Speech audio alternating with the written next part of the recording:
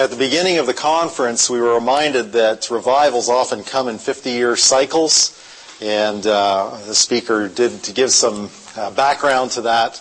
And that is what I found over the years, sometimes sooner than 50-year cycles, depending on the prayer and holiness that is uh, being exercised.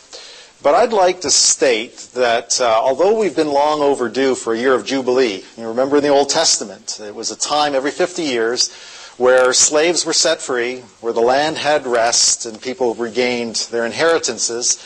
Uh, we're long overdue for that, but I would like to suggest, and I believe, that when God sends revival, it's not going to be a nationwide revival as we've seen in the past. My thought is, as I've been praying about this, that revival has already begun. Yes. It's already begun. Do not despise the day of small things. It's begun in Canada, in certain places. It's begun in the U.S., in the Western world, all around the world.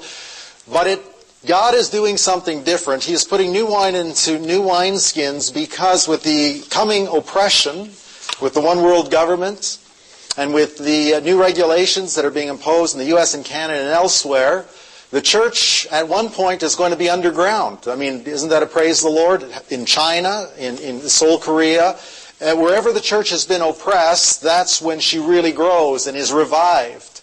So, to get us there, God is going to do a work in individual lives, and I'll explain more about that as we go.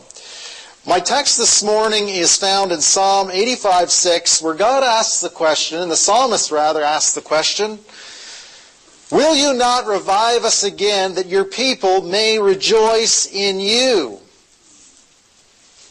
It's not enough for countries around the world in the past to have been revived. It's not enough for us personally to have been revived in the last year or even in the last month. The psalmist asks the question, Will you not revive us again? We don't have to wait for the person sitting beside us to get revived. We don't have to wait for our husband and wife or our pastor or the leaders or someone else to get revived. God can give revival to each one of us if we'll listen to what He says through His Word.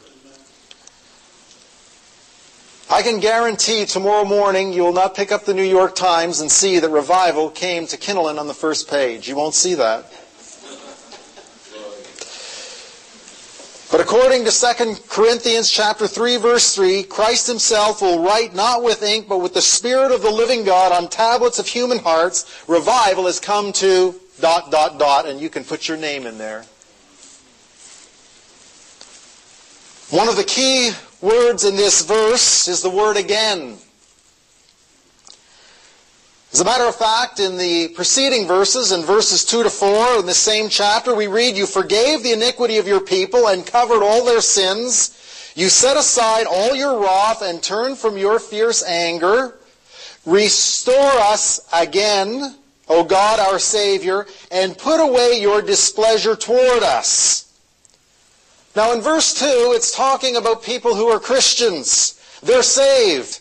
Their sins are forgiven. That's the doctrine of justification. God's wrath is satisfied. That's the doctrine of propitiation. And yet there is a need for us to be restored in verse 4 and to be revived again in verse 6. Now this brings up a critical point about our walk as Christians. And that is that as Christians and as churches, once we are saved, we need to be constantly revived and restored to God. Now, when I was younger, I used to think that my spiritual gift was backsliding. And uh, I've learned as I've gotten older that I just get a little more subtle in my backsliding, and I can do it uh, in ways that are very creative. And I've realized, and God has shown me the need for constant brokenness in my life. All we have to do is look at the powerlessness and the condition of our churches to know that we are in desperate need of revival continuously. Now, the obvious question this afternoon would be well, how do we get revived? But I don't want to ask the obvious question this afternoon. Instead, I want to ask that question in a different way. The question is this, how does a person get unrevived? Because in understanding how we get unrevived, we'll know how we're to get back to being revived. The answer is found at the end of verse 6. Will you not revive us again that what your people may do what? Rejoice in you.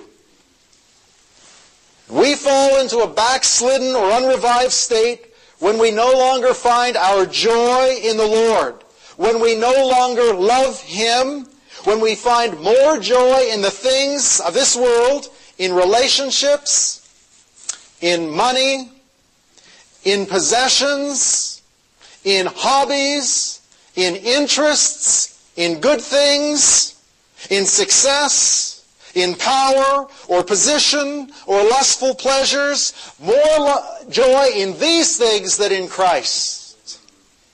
Jeremiah 2:12 the prophet said, Be appalled at this, O heavens, and shudder with great horror, declares the Lord.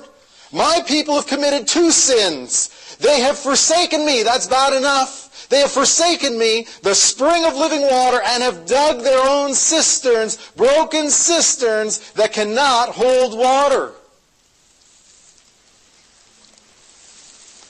Now, this forsaking of God not only happened in the New Te- or the Old Testament, it happens and happened in the New Testament as well. As well, we read in Revelation chapter two that the Christians there had not just lost their first love. We often tell people, "Oh, you've lost your first love." No, that's not what Scripture says. They left their first love because they loved something or someone else more than the Lord Jesus. And that's the way, folks, we become unrevived. We love someone or something. We stop loving the Lord Jesus Christ with all of our hearts and souls and mind and strength. And we become unrevived, and therefore we break the first commandment, which is to what? Have no other gods before Him. And when we start loving something or someone more than the Lord, and we break the first commandment, the rest fall like a house of cards.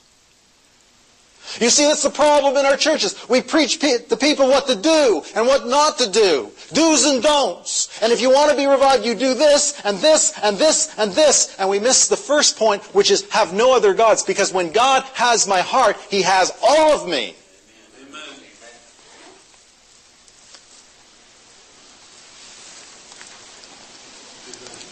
The way to revival is finding our joy and love in the Lord again. Let me pause for a moment on this point. This is called a revival conference. I've preached at other revival conferences. But whether revival sweeps the eastern seaboard, as it did in 1857 with Jeremiah Lanphier, where a group of men met on Wall Street, and then you know the story from there, it is estimated that close to 2 million people across the nation came to Christ as a result of that re- revival. 2 million. Whether God sweeps the eastern seaboard as he did in 1857, or whether God revives one man, one woman, or a group of people, revival can come. Revival takes place when I repent of my sin of rejoicing in other things and loving other things and rejoicing in other things more than loving and rejoicing in the Lord Jesus Christ. Over the years, I've witnessed many individual revivals in individual people in small pockets in churches. And I'll share testimonies about that in a few minutes, but I want to prove beyond a shadow of a doubt that a deep love for God, not just conviction of sin, or convicting messages, or prayer alone is necessary if God is to send personal or corporate revival.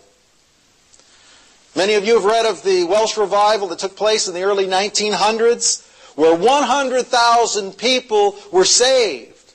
That revival was criticized later by some, by some uh, theologians as a, as a false revival, because they said at the end of, what was it, about a decade, that, that 10,000 people could be found in church, but 90,000 stuck. Can you imagine that? What are our statistics today from altar calls? 2% bark on the door of a church after altar calls and great evangelistic meetings? 2% after one year?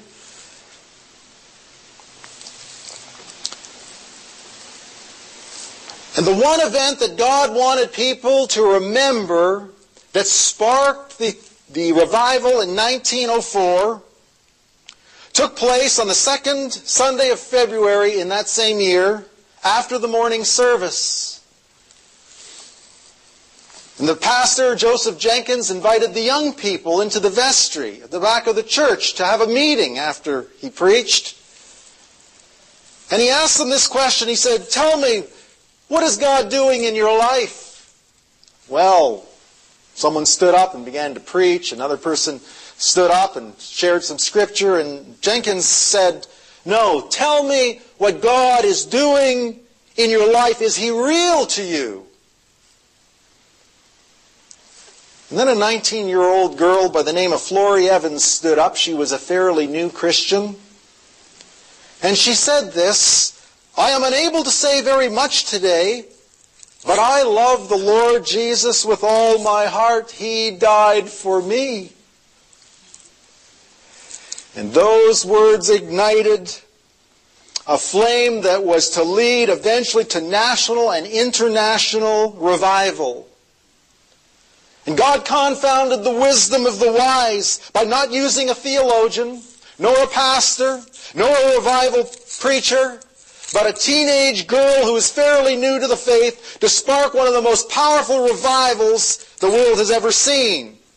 Not with fancy words or theatrics, but in simplicity and sincerity, expressing her deep love for the Lord Jesus.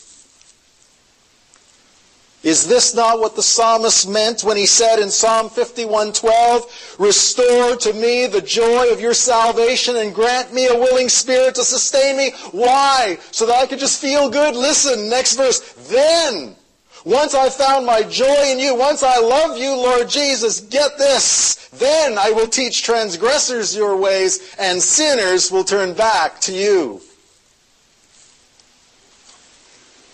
Have you ever considered that the most effective way to see people saved and backsliders turn back to God is through the example, through the words, through the teaching and preaching who are filled with joy and love for the Lord? I remember years ago when a church I pastored, became very obvious that we were just playing church. I remember when I came on board, the elders and the deacons met and they gave me this great big thick manual. It must have been about that thick. And I said, what's this? They said, it's a church growth strategy and plan. In other words, they had told God what he was going to do in the church, right? It was a marvel to angels and pets. Like, I don't know what, this thing, I remember one of the elders, he was on board with me. He says, let's hide the thing. We hid it. They never asked for it again. But I remember looking at all these things God was going to save. It was a small church. I started, I guess there was about 90 people when I started. But it, they, they, they, four people a year and so many baptized and all of this. And uh, God wasn't doing what we told him to do.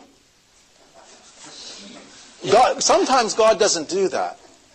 And so I, I, God burdened my heart that we needed revival. I, I, didn't know what to call it back then. I just needed, I knew we needed God. Without me, you can do nothing. And it's not by might or by power, but by my Spirit, says the Lord. So I figured, well, if the Holy Spirit doesn't do something, then, then we're wasting our time. And so I began to pray, and I prayed that God, that according to Zechariah 12:10, that His spirit of grace and supplication would fall on another man in the church. Just one man, one, one man on the elders board. By the way, uh, in my elders meeting, none of the elders would come to prayer meeting.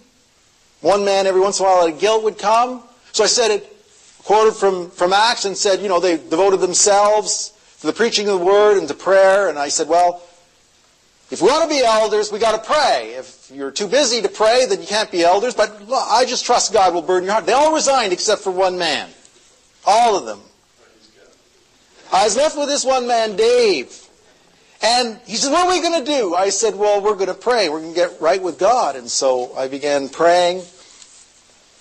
And uh, I would just seek the Lord. I said, Lord, I can't do this. I, I can't do this. The, like, I, I looked out every Sunday in the valley of dry bones. Any pastors know what that's like? I was trying to make corpses dance. You ever try to make corpses dance? That's what we do in our churches. We get them to read a sinner's prayer, and then we try to make that corpse dance. They've never been regenerated. You, we say if you believe in God, you would say the demons believe and tremble. So I began praying for that man, and one day I got a call, and he was a controller of an engineering company.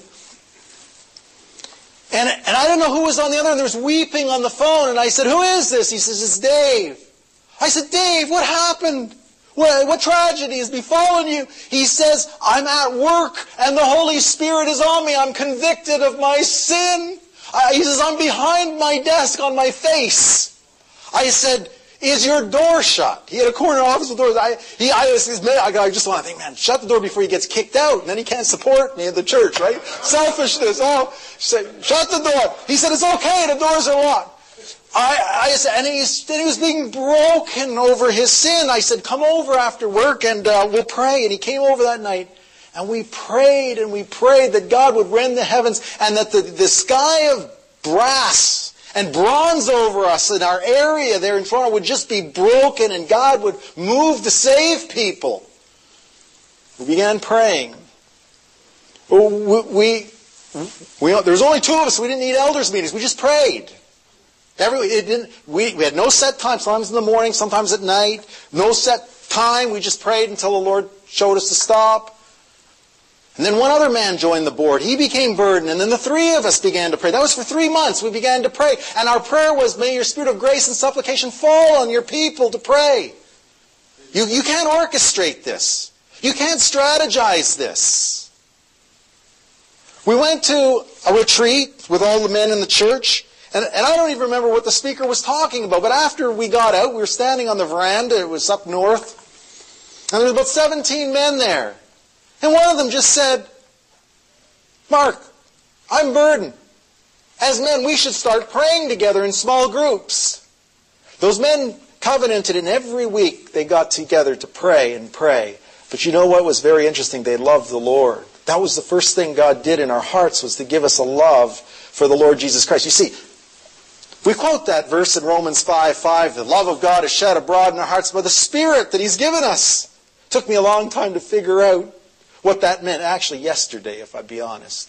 I was in the parking lot weeping, and God laid this on my heart. He says, You know why I shed the Holy Spirit in your heart with love?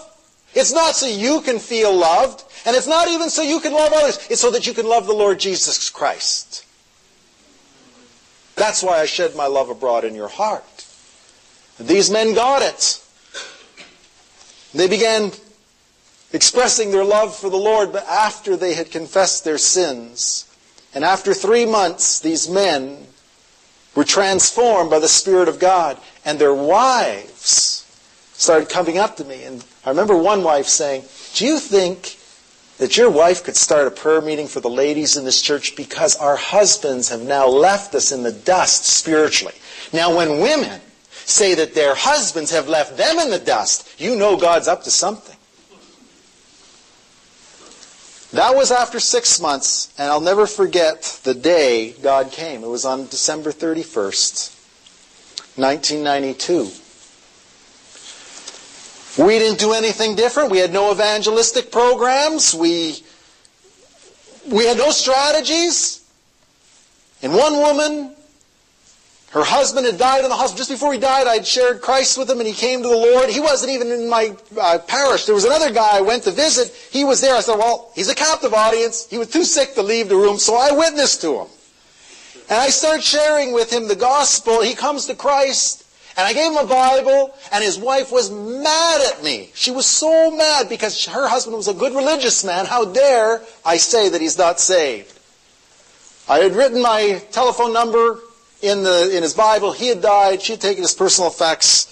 A year later, she calls me on December 31st. She says, Are you the man who visited my husband in the hospital when he was dying? I said, Yes. And I thought, Oh boy, here it comes.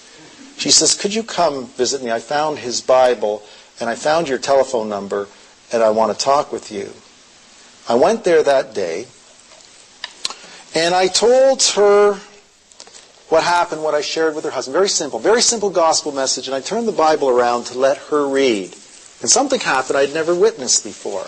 As she began to read, the Holy Spirit came on her in deep, deep conviction, and without me saying a word, without me asking her to pray a prayer, she just wept and repented and started to express her love for the Lord Jesus Christ. And she got saved after 10 minutes of weeping. And I thought to myself, they didn't teach me this in seminary.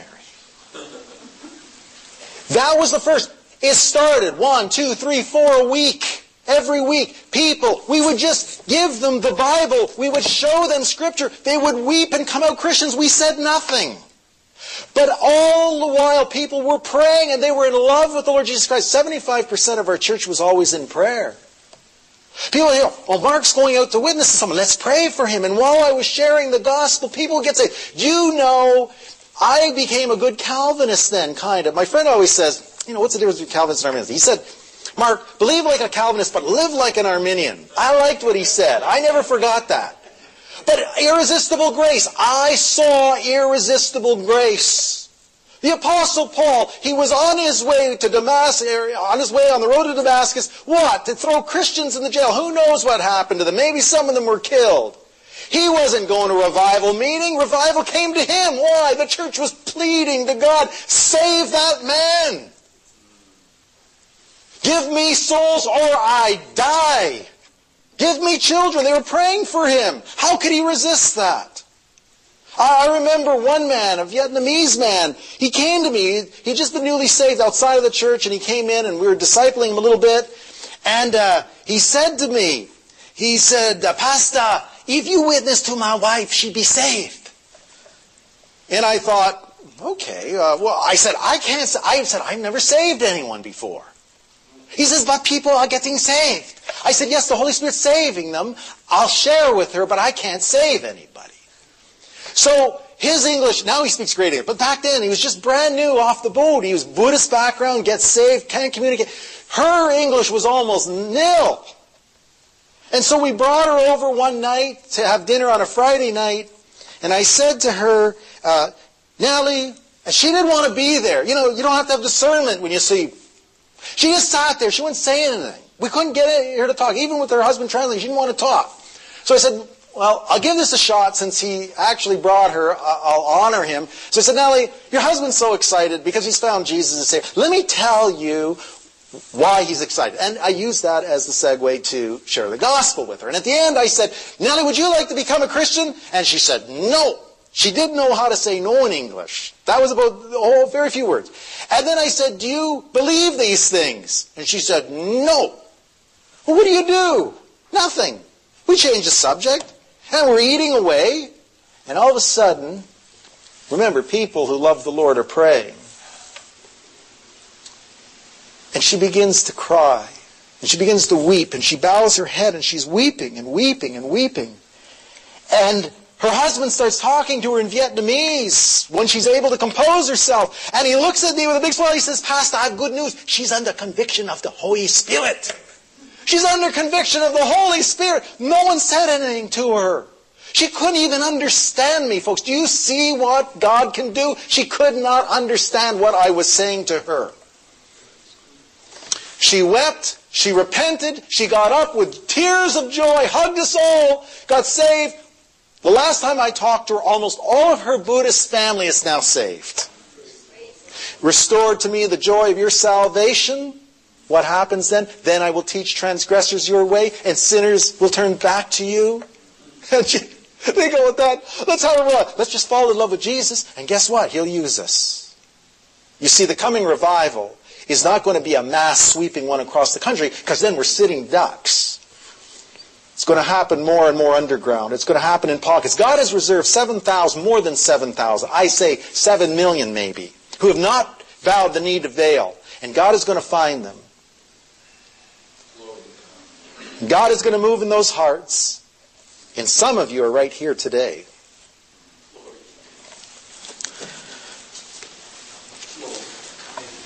I, I, I hope you don't mind. So you, you don't mind stories. I mean, this is God.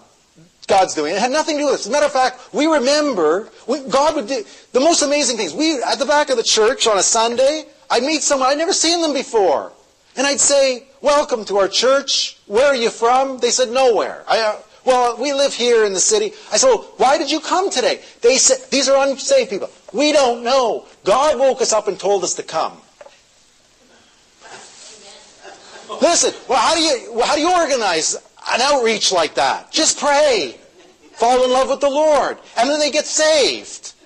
I remember we had this saying, the elders, I think it was Lee Trevino one day, he was getting ready to tee off on the, you know, one of his tournaments, and it was to get cloudy, and as soon as he put up his driver, boom, he got struck with lightning right down the road, and he was unconscious. They took him to the hospital, and after he revived, uh, one of the reporters says, Mr. Trevino, what did you learn through this event? And he says, when God wants to play through, you let him play through. And that's what the elders would pray. I remember my God, they, oh God, just help us stay out of the way. We're scared. We were scared. We didn't know what to do anymore. We just stand away. God would save people. I remember so many people were getting saved at one time. I used to pray this, Lord, save this person, but just not tonight. I don't have time. There, I had no assistant pastor. I had no time. People would come. They would knock on our doors 10 o'clock at night. People would be there to 2, 3, and 4 in the morning. They'd be getting saved. I remember one man, he kept begging me, begging me, oh, I want to get saved. I want to get saved. I said, you're not ready to get saved. And I, a few times I told him, you're ready. I'm not, I'm not leading you to the Lord tonight. One night he came. He was so desperate. He says, I need to get saved tonight. This was at 2 in the morning. I said, "You've got idols. I said, you're too rich to get saved. I said, it's easier for a camel to go through an eye of a needle than a rich man to enter the kingdom. You got too much money. He says, I don't care about my money. God can take it all. I got to get saved tonight. He fell on his knees. He got saved. Remember an NHL hockey player. Hey, I mean, unsaved people were leading people to Christ. Now that's, I didn't know that could happen. Did you know that? We had one man in the church, I'll never forget, he reminded me of Eeyore. Because every, you know, Eeyore and Winnie the Pooh, you know, uh, you could say, oh, you know, but it, it isn't it a great day? Yeah, but it'll probably rain. I mean, everything. He talked like that too. He was the most negative person I ever met in my life. He wouldn't get saved. One day he says, Mark, I'm bringing one of the Canadian NHL uh, hockey players from Boston Bruins up to counsel with you. This man's been going to psychiatrists and psychologists, and no one can help him. But if you talk to him, you'll help him. I said, I can't help anybody. Well, anyways, this guy flies up from Boston, and he was, he was, you know, a defenseman. I mean, everyone here looks bigger than me, but this guy looked bigger than me. I mean, he's huge comes in, and I said, he says, I need help. And he just looked really intense at me. He says, I need help. And I said, what do you need help about? He says, I've come up and I'm going to kill my parents. And I'm thinking, did he say parents or pastor? Parents or pastor? I, I was thinking, oh Lord have mercy on. This guy's big. He just squashed me like a grape. So I said, let's go in our backyard. He's big, but I'm fast. And I'm going to run. I'm to get on the picnic table. I can get out of here real fast. So his unsafe friend follows him to the back and that morning, the, the Holy Spirit led me to this obscure passage in Romans. I, I never used it for witnessing. I remember thinking, those are interesting verses, and I, I was kind of perplexed. As I was sitting at the, the picnic table, I was going to turn to another passage, and the Holy Spirit said, no, show him what you read this morning. I'm used to this by now, so I turned the Bible around to him, and I said to him, Sean, start reading here. Three verses into, I still don't know where it was, three verses into that chapter, he began to weep uncontrollably. And ten minutes later, the tears of joy. He got up, he gave me a bear hug. I still have a, a, a displaced disc, I think, in my back. Uh, from that, he just about killed me. And he was just rejoicing. He was so excited. And his friend, Eeyore there, looked at me with his baptized in pickle juice look. And I said, what are you so uh, uh, upset about? He says, because God saved him and he hasn't saved me yet. I said, that's because you're too proud. Humble yourself and God will save you too. So as they're leaving, I figured, well, who's going to disciple this guy? That was one of the guys, by the way. I said, Lord, save him, but not today. But anyways, God didn't listen to me. See, he doesn't listen to strategic plans and he doesn't even listen to our selfish prayers sometimes. So I said to this fellow, Eeyore, uh, not his real name. Uh, I said, give me, his give me Sean's telephone number. I need to disciple him. He, he says, no. He was so upset that his friend got saved, he, he didn't give me his telephone number. So I said, Lord, I don't have time anyway. Just bless him. Just bless him. Disciple. Three years later, we had a revival speaker by the name of Dick Sipley, who was part of the 72 revival in, in uh, Saskatoon, which went into the Midwest and then did go around the world in different pockets. Powerful move of God in the 70s. And he was preaching uh, three years later after this event. And sure enough, I'm at the back to greet uh, people with Dick. And this man comes, this big guy comes down and he said, Mark, do you remember me? I said, no. He says, I got saved on your picnic table three years ago. I said, Sean, what are you doing now? He says, I just wanted to let you know, after I left, I went to another church. They discipled me there, and I'm graduating from Bible college. I'm going into the pastorate. You see, when God wants to play through, you let him play through. I've just given you a few stories. I, I don't have time to tell you the most amazing uh, salvations I've ever seen. But I want to tell you this there was no human fingerprint on one of them. No one. God could use Balaam's donkey. He can use us. What I do know is that we love the Lord Jesus. And transgressors turned back to him, and sinners were saved. That's revival. You see, the Lord cares about our hearts above everything else. That's why in Proverbs he doesn't say, My son, give me your money, your talents, your hard work, your ministry. He says, My son, give me your heart. You see, the Pharisees gave all these other things to the Lord, but they never gave him their hearts. And that's why Jesus said, These people, they honor me with their lips, and I might add their laws, there's 613 laws. But their hearts are far from me. And that's why, folks, we never read about a revival in the gospel in Jerusalem until the book of Acts with the Christians. If anyone should have had a revival, it was these religious people who were doing everything right and saying everything right. Man looks on the outward appearance, but God looks at the hearts. Jesus cares about my heart and your heart today. Was this not why Jesus did what he did when he restored Peter? How would a court of law have dealt with Peter after he sinned? Well, they would have done a play-by-play reenactment of every nuance of his statements and the fact that he cursed with an oath, and they would have dragged him through the whole thing again. But not Jesus. All those things didn't matter. Do you know what? The Lord, I want to be careful here. The Lord is not so much concerned about our sin as our hearts once we recognize we've sinned. I'm going to explain this more lest you think I'm uh, preaching heresy here. I want to be careful. But he could have brought Peter up on his sin and us on our sin today. And you know what? He didn't do that. He didn't say, Peter, how could you have humiliated me and yourself by denying me?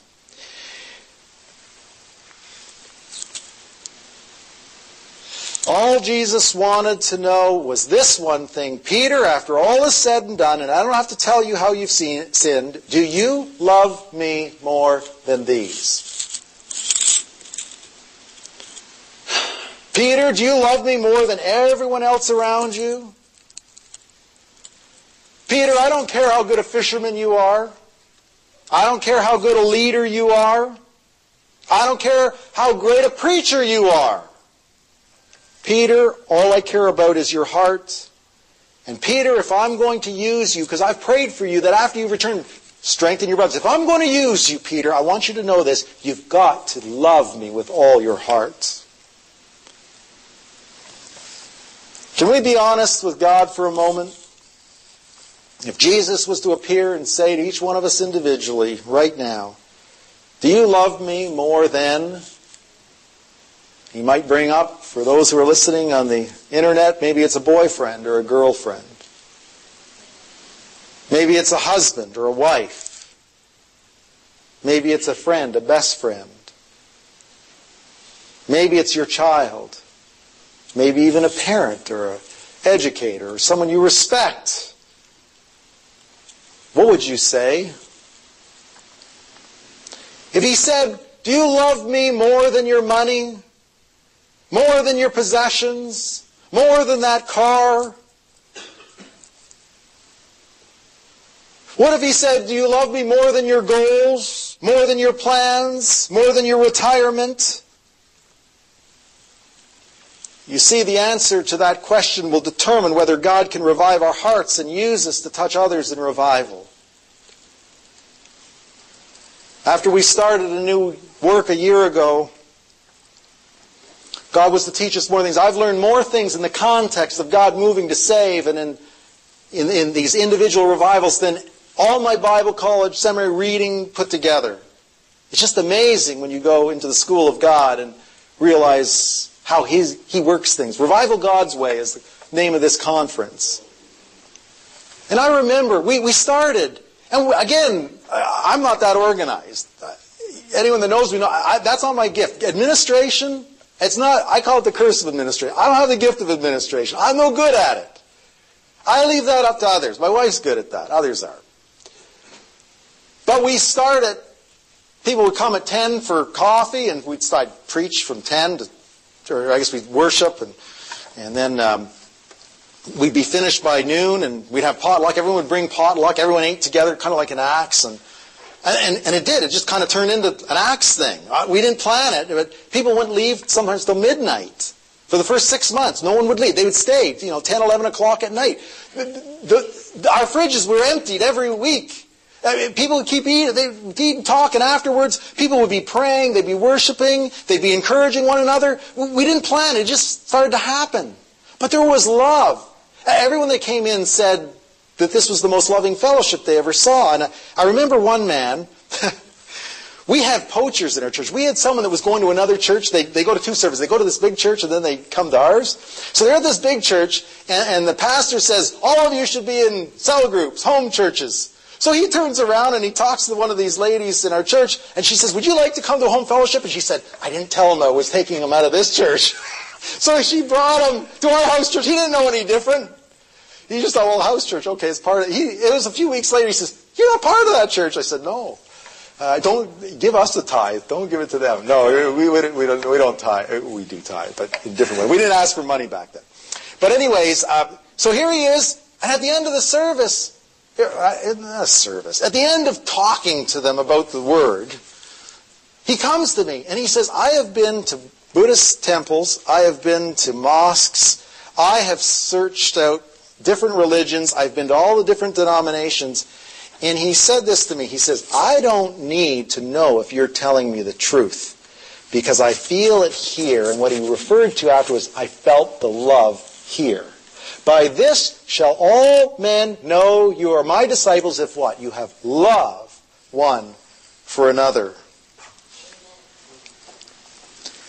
Same happened with another man came in, didn't know the Lord.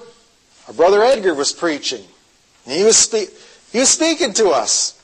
And afterwards, this man came to me, tears running down his face. He was afraid to go to talk to Edgar. Now, Edgar's a loving guy. And I said, well, why are you afraid?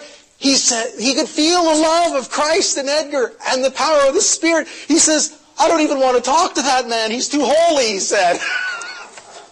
and Edgar just said he didn't know me. But this happened two or three weeks. And, and finally the crying stopped after about a month and he gets saved. We never ask people to pray sinners. You know, show me in the Bible. I, I want to be gracious where a sinner's prayer. You know, sinners pray and sinners get saved. But, you know, until the 1950s, there was no such thing as a sinner's prayer. Everyone calls in the name of the Lord. We just tell people, call in the name of the Lord in your time, in your way, whatever you, you know, just, just let the Lord save you. Man, when you let the Lord do it, it's amazing what He does. Like, people get saved and they're well saved. Right? And then we started seeing, this is funny, we started seeing God save Christians. Christians were getting born again. That's amazing. When you know what a revival is? Mostly, is when Christians get saved. That, that's what a revival is. Um, that's what got me um, moved on from one church once. um, Do you know one of the main barriers to revival is a joyless, loveless walk with God? Now someone might say, well, I thought that sin was the greatest barrier to revival. Isn't that what 2 Chronicles 7.14 it says? If my people who are called by my name will humble themselves and pray and seek my face and turn from their wicked ways, then will I hear from heaven and I'll forgive their sins and heal their land.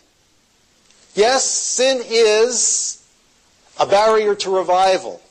But I want to ask another question today. Why do we sin? Because if we answer that question, why do we sin, we'll know how to get revived. The reason that we sin, the reason there is so little revival in our lives, is because according to Psalm 85 6, we do not rejoice in the Lord, we do not love him as we ought. It's not enough for us to be convicted about sin to experience revival. It's not enough for us even to be obedient to the Lord to experience revival. We saw that with the Pharisees. They didn't experience it. Revival will come personally and corporately. When we come to that place in our lives, when we love the Lord Jesus Christ with all of our hearts, and we feel joy in a daily relationship with Him. Now, before I go on and prove this from Scripture, we need to understand that the reason we sin, and by the way, sin is what prevents revival, is because we love something or someone else more than the Lord Jesus. That's why we don't have revival.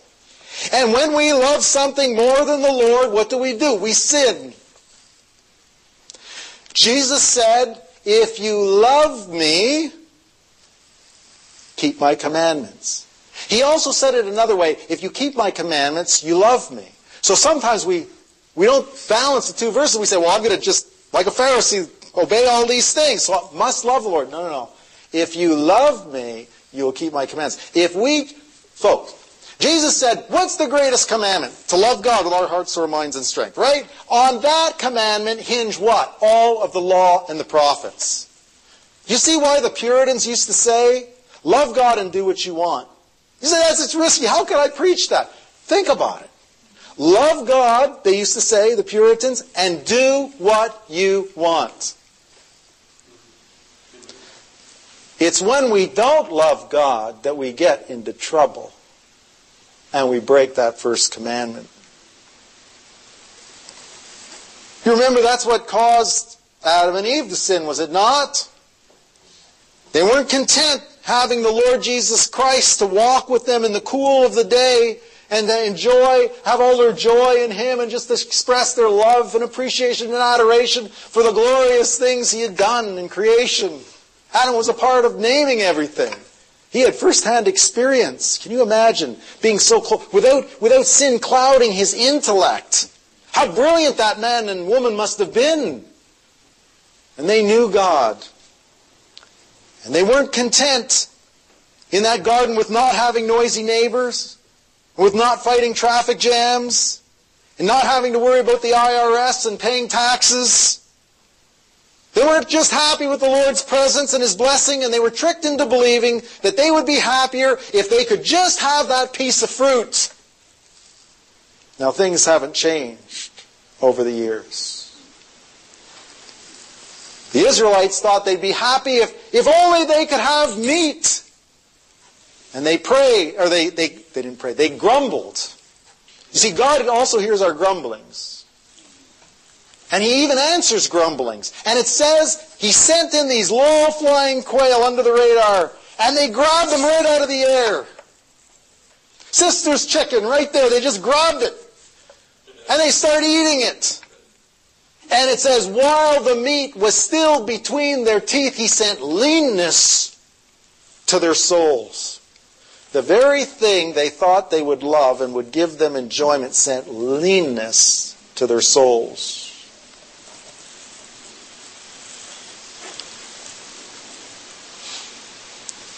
David thought he could be happy if he had a Bathsheba. God sent leanness to his soul. We can all think that if I only had this and could get this, and we, we pursue this, that, or the other thing, that we'll be happy, and God sends leanness to our souls because we have left the Lord Jesus Christ. And bear in mind, every single sin that we get into is a ploy of the devil to substitute a person or possessions or pursuits in place of Christ. Do you understand the way that works?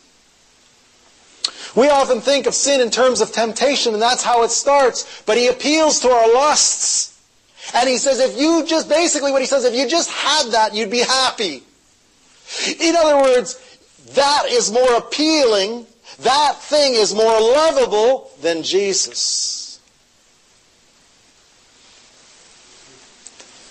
And they're distractions from keeping us from loving God with all our heart. And by the way, many of the things we sin in are actually good things that God has made and given to us. It's just that we love them more than Him. 2 Timothy 3.1 says, But mark this, there will be terrible times in the last days. People will be lovers of themselves, lovers of money, lovers of pleasure rather than lovers of God. You see? We sin when we love the sin more than the Lord Jesus. Matthew 6:24 No one can serve two masters. Either he will hate the one and love the other or he will be devoted to the one and despise the other. You cannot serve both God and money. In other words you will love one over the other. You see money is a wonderful servant but a terrible master and if you're afraid of losing your home and your investments and all these things, which, by the way, God is going to take that, you realize that uh, the world economy is just teetering on the edge. And so, if our hearts are set on these things, we will love them and be more concerned about them than the Lord. And he wants to free us from that so that our hearts, he says, give me your hearts. He doesn't need our money. He owns the cattle on a thousand hills. But when he has our heart, he has everything anyways. He has our bank account. 1 John 2.15, do not love the world or anything in the world. If anyone loves the world, the love of the Father is not in him. James 4 4, you adulterous people, don't you know that friendship with the world is hatred toward God? Anyone who chooses to be a friend of the world becomes an enemy of God. Or do you think the scripture says without reason that the spirit he caused to live in us envies intensely? In other words, God is jealous when we love something or someone else more than him.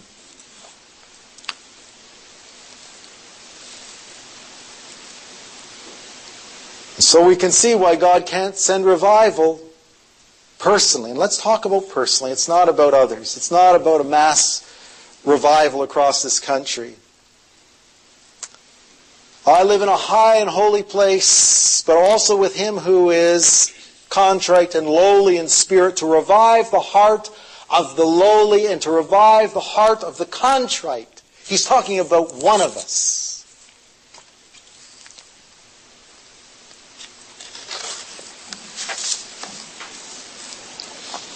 Do we love something we own more than the Lord Jesus? And do we prove that by how much time we spend caring for that thing or worrying about losing it?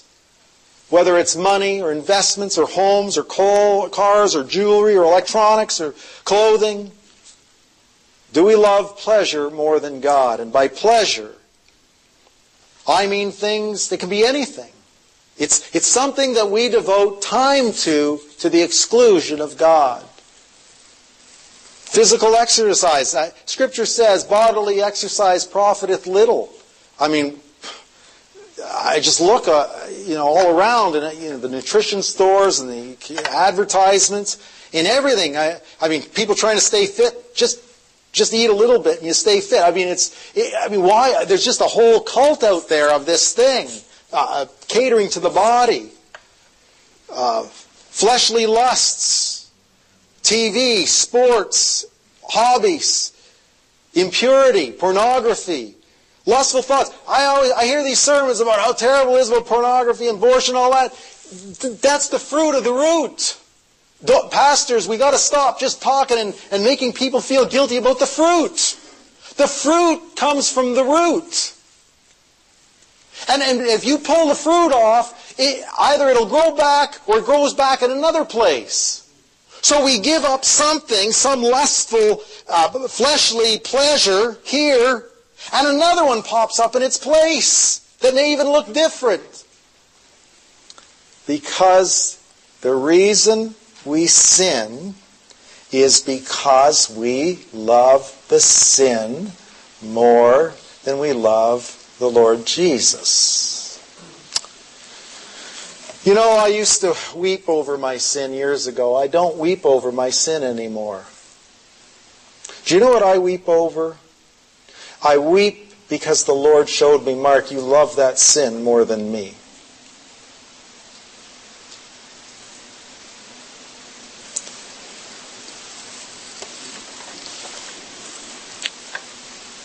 Could we get honest with ourselves again and say, Lord, I love this person, or I love being selfish, I love pandering to me, I love the way I talk, I love the way I say things, I love all of these things that I am, I love goals and possessions, all these things. I love these things more than you. You see Psalm 51:6 before the psalmist was restored with joy and love for the Lord so that others could be revived. He said this, surely you desire truth in the inner parts. I'll never forget sitting in my living room one day and I was praying, confessing my sins, and the Lord stopped me and He said to me, Mark, why don't you tell me the truth about that sin? And so I sat there and I said, okay, what's the truth? And it was quite freeing. It was convicting. It was freeing. You know what I said? Lord Jesus, I love this sin and I named it. I love it. And I love it more than you. I was devastated.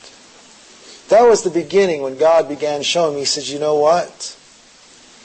Mark, until you get to the root of sin, which is loving it more than you love me, I can't touch your heart and use you. God wants honesty. Proverbs 28:13 He who conceals his sins does not prosper, but whoever confesses and renounces them finds mercy. I had no intention of preaching this message. Absolutely none. No intention. And three weeks ago, the Lord came on me. I wept on and off for four and a half hours. I thought that was it. Then that Sunday morning before I preached, I was on my knees and I wept another half hour. And then yesterday in the parking lot, I wept for another half hour or so. And the Lord says, Mark, you're going to preach to sinners like you. You don't just need to nail down the fruit. They know. The Holy Spirit's in them. If they're saved, they know. But you tell them what I've now shown you. That when we sin, we sin because we love the sin more than the Lord Jesus. I love your word more than my daily bread. Lord, I love things. I love things that pander to my flesh more than I love the living word. Don't stop confessing the sin, the fruit of sin. Confess the root, which is, if you're like me, I love the sin more than the Savior sometimes. You see, our hearts can attach themselves to so many things other than God.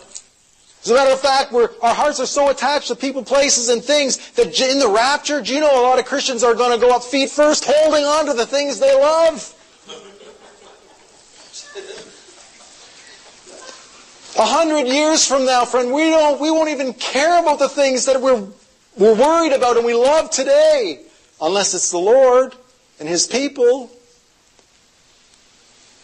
1 John 2:17 The world and its desires pass away but the man who does the will of God lives forever. Do you know there's not one reason why any one of us cannot have a personal revival today? There's not one reason. Will you not revive us? By the way, the us is lowercase. It's not capital U period, capital S period. It's not will you not revive the U.S. of A.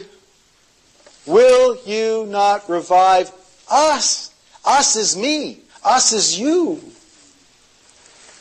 That your people may rejoice in you. And now, once we understand the root of our sin, which is loving sin and not Jesus. Now doesn't it make sense when we quote 2 Chronicles 7:14, if my people who are called by my name will humble themselves and pray and turn from their wicked ways. What are the wicked ways? Digging cisterns that hold no water, loving something or someone else more than Jesus. Then I will hear from heaven will forgive their sin and heal their land. Now my eyes will be open and my ears attentive to the prayers offered in this place. Now, here's where that old devil comes in to mess things up for us. He'll come and tell you that you're so great a sinner, that you've sinned so greatly, that you could never expect to be forgiven. You've somehow squeezed out the last drop of God's grace and mercy. Has he ever told you that? Oh, God can forgive you for these other things, but not this one. Oh, and the devil knows the Bible so good, doesn't he? And he quotes Hebrews 12:7. You might not remember the reference, but you remember this if you've been around for years. He, he'll tell you about Esau, you know, afterwards, as you know. When he wanted to inherit this blessing, he was rejected, and he could bring about no change of mind, though he sought the blessings with tears. And he'll tell you God can never use you again. He'll never forgive you for that. 1 Corinthians 11:31 says, "If we judged ourselves, we would not come under judgment." Now, I have a problem with some revival preaching. And I say that because I used to do it. Boy, I could I, I could really smoke people. Oh, you could smell the fire and brimstone when I preached.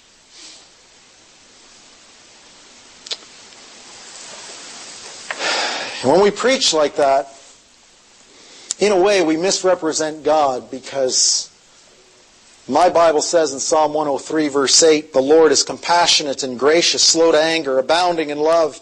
He will not always accuse, nor will he harbor his anger forever. He does not treat us as our sins deserve, because if he did, not one of us would be here today. And we're here today as living proof that he does not treat us as our sins deserve, or repay us according to our iniquities. For as high as the heavens are above the earth, so great is his love for those who fear him. As far as the east is from the west, so far as he removed their transgressions from us. As a father has compassion on his children, so the Lord has compassion on those who fear him. For he knows how we are formed. He remembers that we are dust. There's grace and mercy for you today if you will come and confess the root of your sin and my sin. You know, I remember years ago, sometimes reading books isn't the best thing. God put me on quarantine once. I don't advocate this, but it took me 14 years. I never read a book. He said, stop reading. I'm going to teach you through the Word. But I remember reading something where General Booth talked. He, he, said, Lord, I wish that all my elders could be dangled over hell for one minute and they, they would cure them of their backsliding. That's a paraphrase, but that's what he did. So I thought, I don't know if I want to be dangled over hell, but I would like to have an Isaiah experience and see the glory of God. Lord, just show me your glory and I won't backslide. I don't need to see hell. I know about hell. I, I just want to see your glory. Well, I was minding my own business and one day I was alone in my apartment on my knees praying, and all of a sudden, this terrible picture I saw in my mind's eye. I used to have a country place. We had a country place, family country place in Vermont on Lake Champlain. And one day I had the, the, the onerous task of digging up that cesspool. And as I was praying, I saw myself in the center of that cesspool with my nose just above the sludge line. And I said, Lord, what is this? And the Lord spoke to me very clearly in my heart, and He said, That's the way I see your sin, Mark. And I said, Surely not I. I said that. I said, that's the sin of the prostitutes and drug dealers in Parkdale at King and Jameson in Toronto, where the red light district is. I used to take teams up there to witness. I said, that's their sin. That's not my sin. And I'm going to quote exactly what I heard in my heart. And the Lord said to me, Mark, that is the way I see your sin, because when they sin, they do what comes naturally. But when you sin, you sin against knowledge and light. Now, that means that those of us who are preachers, not many of you should presume to be preachers or teachers, knowing that those of us who teach will incur the stricter judgment. My brother Edgar taught me this when he came to preach. He says, Mark, I consider everyone better than myself because God revealed my sin to me. I never forgot, thank you, brother, because the Lord used that to teach me. The Lord began showing my sin. And there's not a person that I've met since then that I don't say, brother or sister, in my heart, you're better than me. You're better than me. Not one. Anyways, I, after God showed me the sin, it felt, you know, the, whole, the psalmist said, do not take your Holy Spirit from me. I know that doesn't happen theologically, but I know what it's like to feel that. Maybe you felt that. The Holy Spirit felt that He was taken from me. I felt that at any moment I could slide hell. I used to remember reading that in Jonathan Edwards. People hold on the pillars feeling they were sliding into hell itself. I wept every day for two weeks out of fear and anguish, feeling that God had left me, and at any second I could plunge into hell for eternity. My sin, I, had I never saw it as I saw it for two weeks. And I remember I was driving on the 401, one of our major highways back from seminary, and I was driving this old Honda Civic, and it, the front end had broken. And I used to be a mechanic and used to fix cars and customize. So I'd taken a big old drive shaft, propped it under the front so that the front end could kind of slide on this bar. It was very dangerous, by the way. But I took calculated risks. I kind of understood front ends. And um, uh, I was praying as I, I would tear, I don't know how I didn't have an accident. I would drive and then the Holy Spirit would convict me and I'd just be weeping. I could hardly see. I didn't need windshields out there. I needed them on my eyes. I, I couldn't see where I was going. I said, Oh Lord, just take my life. I can't live like this anymore. Seeing my sin, cause this car to go into the guardrail. It, it'll be an understandable accident because of that front end and kill me. Take my life. And I got home that day again alone in the apartment, and I got down on my knees in frustration and I was crying and I said, God, you've always answered my prayers, but you didn't answer the prayer. I prayed that you would give me a vision of your holiness and you didn't answer that prayer. And God again, after two weeks of silence, He said this to me. He says, Mark, I did answer your prayer, but I couldn't show you my holiness until I first showed you your sinfulness. This doesn't happen very often. The Holy Spirit laid on my heart, you turn to Micah chapter 7. I didn't even know it was there. I opened my Bible to Micah chapter 7, verse 18, and I read these words Who is a God like you, who pardons sin and forgives the transgression of the remnant of his inheritance? You do not stay angry forever, but delight to show mercy. You will again have compassion on us. You will tread our sins underfoot and hurl all our iniquities into the depths of the sea. And the Lord says, Mark, I love you. I've forgiven you. And it broke. And his love came over my heart. And the Lord said to me this, the last thing I heard in this, uh, this encounter was he said this, now Mark, I want to tell you, don't you dare ever look down on anyone in their sin again. Never. Oh, I love the book of Joel, chapter 2. I named my eldest son Joel. Joel chapter 2 verse 12, God says, Even now declares the Lord, return to me with all your heart. Why? Because our hearts have attached themselves to things, good things even, that become bad things because they turn us from God. Return with all your heart, with fasting and weeping and mourning. Rend your heart, not your garments. Return to the Lord your God, for he is gracious and compassionate, slow to anger and abounding in love, and he relents Folks, He relents from sending calamity. Why? He doesn't treat us as our sins deserve. Who knows, He may turn and have pity and leave behind a blessing, grain offerings and drink offerings for the Lord our God. You say, Mark, are you saying that God will not judge or punish us for our sins? No, that's not what I am saying. I am saying that he does not, if we will come to him, if we judge ourselves, we will not come under judgment, that God is giving us an opportunity today. God calls it again today, according to Hebrews 3 and 4. God has called another day today. Today is today, May 8th. Today, if you hear his voice, do not harden your, your hearts as you did in the rebellion. Isaiah 57, 15, this is what the high and lofty one says, He who lives forever, whose name is holy. I live in a high and holy place, but also with him who is contrite and lowly in spirit, to revive the spirit of the lowly and to revive the heart of the contrite. I want to say this, sometimes we try to pray down revivals, and I know prayer is very important. But the issue is not whether we can get God to come to us, it's whether we go to God. Azariah the prophet in 2 Chronicles 15 that Edgar read at the beginning said, The Lord is with you when you are with him. The question is not whether we can pray him down today, brothers and sisters. The Lord is. It's a promise. One of the 7,487 promises in Scripture. He says the Lord is with you when you are with him. And we are with him when our hearts are with him. All of our hearts. Set your minds on things above. Set your hearts, your affections on things above where Christ is seated at the right hand of God.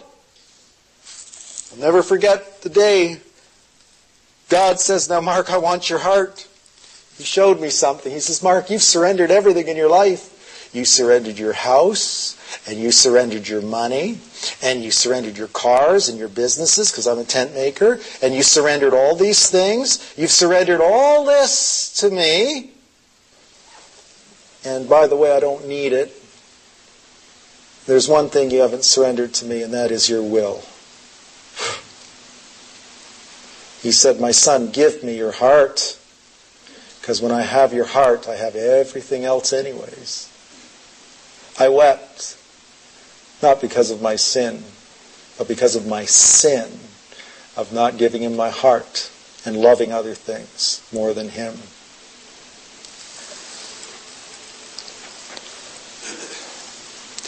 You know, I'm tempted to pray, uh, preach a message called When God Stopped the Prayer Meeting. You know God stopped the prayer meeting in the Old Testament? The book of Joshua 7. Joshua and the leaders are on their faces and they're crying out to God. And what does God say? Stand up! Israel has sinned. I will not be with you anymore unless you destroy whatever is among you that dot dot dot. Brothers and sisters, I love you. and I'm a sinful man, but I know the Lord Jesus loves you more. And He shows me stop crying about your sin in terms of the action and cry and weep about the sin of loving it more than God. Oh, the sin needs to be repented. Don't get me wrong. Oh, but are we willing to love the Lord Jesus Christ more than that thing? And see, I, when I sit in revival meetings, I remember there was one preacher, Lou. He's a great preacher. And he was master having lists. He had lists, I'm sure. I used to swear that he'd, he'd uh, interview my wife to be, because he would just go through all these lists, and man, he just, I was like getting hit with buckshot. Sometimes, though, I could dodge them all, you know, and the preacher didn't mention my sin. Now, I know I've missed some of your sins, but the Holy Spirit hasn't because He told you about it in that still, quiet voice that we heard about today. But if you come to Him, He is gracious and compassionate. He's brought us here today so that we could find Him in revival personally. Will you not revive us, me again, so that I might rejoice in you? Let's come to the Lord in prayer. Let me, let me just close in prayer and we'll let the Lord speak to us. Heavenly Father, we come to you in the name of the Lord Jesus Christ. And Father, you've done so many wonderful things. Oh, you've saved us from eternal hell. You do not give us what we deserve. We think we deserve so much. We don't deserve anything but roasting in hell next to that devil. But you have not treated us as our sins deserve. Oh, you have mercy and compassion. You want to move our sin so far from us. And all you ask us to do is to have truth in the inner parts, to judge ourselves so that we don't come under judgment, to come to you and tell you what you already know. That, Lord, when we sin, we love sin more than we love you. That ought to break our hearts. Oh, God, have mercy. You're so loving. We're sinning against love. We're not sinning against the mean God. He's not like a father or a mother that we grew up with or an educator or a pastor or anyone else. You're a loving father. You love us. And like the prodigal son, we run. We squander all your blessings on what we think will make us happy. And one day, when we have to reach up to touch bottom, we remember what we had. We remember our first love. We know we're not worthy to be called your sons anymore, or daughters. We come back to you today. Just make us one of your servants. We want to be a servant of God. I don't care about a title. We want to be called a servant of God. We can only be servants. We come to you, and before we can even say too much, you cut us off. You don't even listen to our confession because you know about it before we even say it. And you tell us, you hug us. You embrace us. You give us a robe of righteousness because we finally confess the sin that drove us from you is love for the world. You give us a robe of righteousness. You put a ring on us and you restore us. And there's more joy in heaven over one Christian even who repents than 99 righteous who do not need to repent. God have mercy. Help us to see your love. Shed your love abroad in our heart. Not so that we can just steal your love or love others, but so that we can love the Lord Jesus Christ. The role of the Holy Spirit is to exalt Christ and to help us to love Him. We can't love Him. We can't love you without your help. God, have mercy on us. Descend upon us, O Lord, with your love. We're not even going to ask you to come. We don't need to. You dwell in a high and holy place, and you'll come to one of us today, or two of us, or the whole group of us, if we just come with a contrite and lowly heart and tell you what you already know we've done and we can be revived today. Then we'll teach transgressors your way, and sinners will turn back to you. We thank you, O God. We praise you in the name of the Lord Jesus Christ. You are so wonderful. We love you. We love you. Help us to love you. Help us, O Lord. In the name of Jesus we pray. Amen.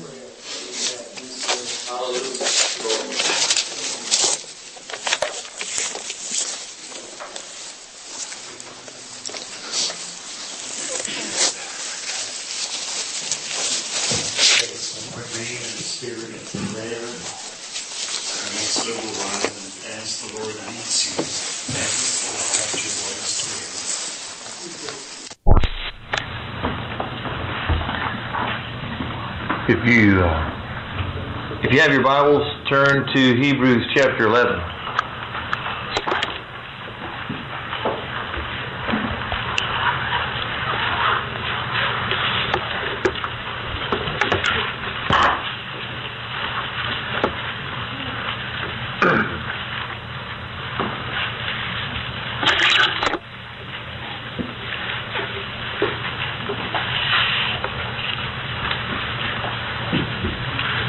May the Lord, in His kindness, according to the intention of His will for leaving this word with us, may He grant us a spirit of wisdom and understanding in the knowledge of Him. May this word have its purpose in our hearts. May it cast down imaginations and, and uh, every high and lofty thought that is simply there to set themselves up against the true knowledge of the living God. In Hebrews chapter 11, read with me in verse 5 about our uh, one of our forefathers, Enoch. By faith, Enoch was taken away so that he did not see death, and he was not found because God had taken him. For before he was taken away, he had obtained this witness. What witness had he obtained? Yeah that he walked with God is in the in the Hebrew Hebrew scriptures in the in the Septuagint that he pleased God. That's what it says in the Septuagint. That was a that was a summary of his life. He pleased God and God took him. That's what we need to be known for. look in, uh, turn with me to 2 Corinthians chapter 5. The Apostle Paul said this is what he made his entire ambition. Here in 2 Corinthians chapter 5, verses 9 and 10. Same word here where it says each of us should uh, to uh, desire or make it our goal to live a quiet and uh, peaceable life. It's here. It's actually the Greek word is to love the honor. Paul says here in verse nine, therefore we we choose to love the honor, whether present or absent, to be well pleasing to Him. For we must all appear before the judgment seat of Christ, that each one may receive the things done in the body according to what he has done, whether good or bad. And regardless of what you and I do, it's not so much important what it looks like. The result had better be that it was pleasing to God. That's, that's what we make our goal. Not the specifics of what each of us are called to do. Not everyone's called to preach or be a missionary. I don't care if you make log, split logs or sell donuts or make ice cream cones. You do it to please God. That's why you do it. That's the goal of it. And in, in Ephesians chapter 5, Paul talks about uh, in his letter to the church of Ephesians how important this is. Ephesians chapter 5, verses 6 through 11.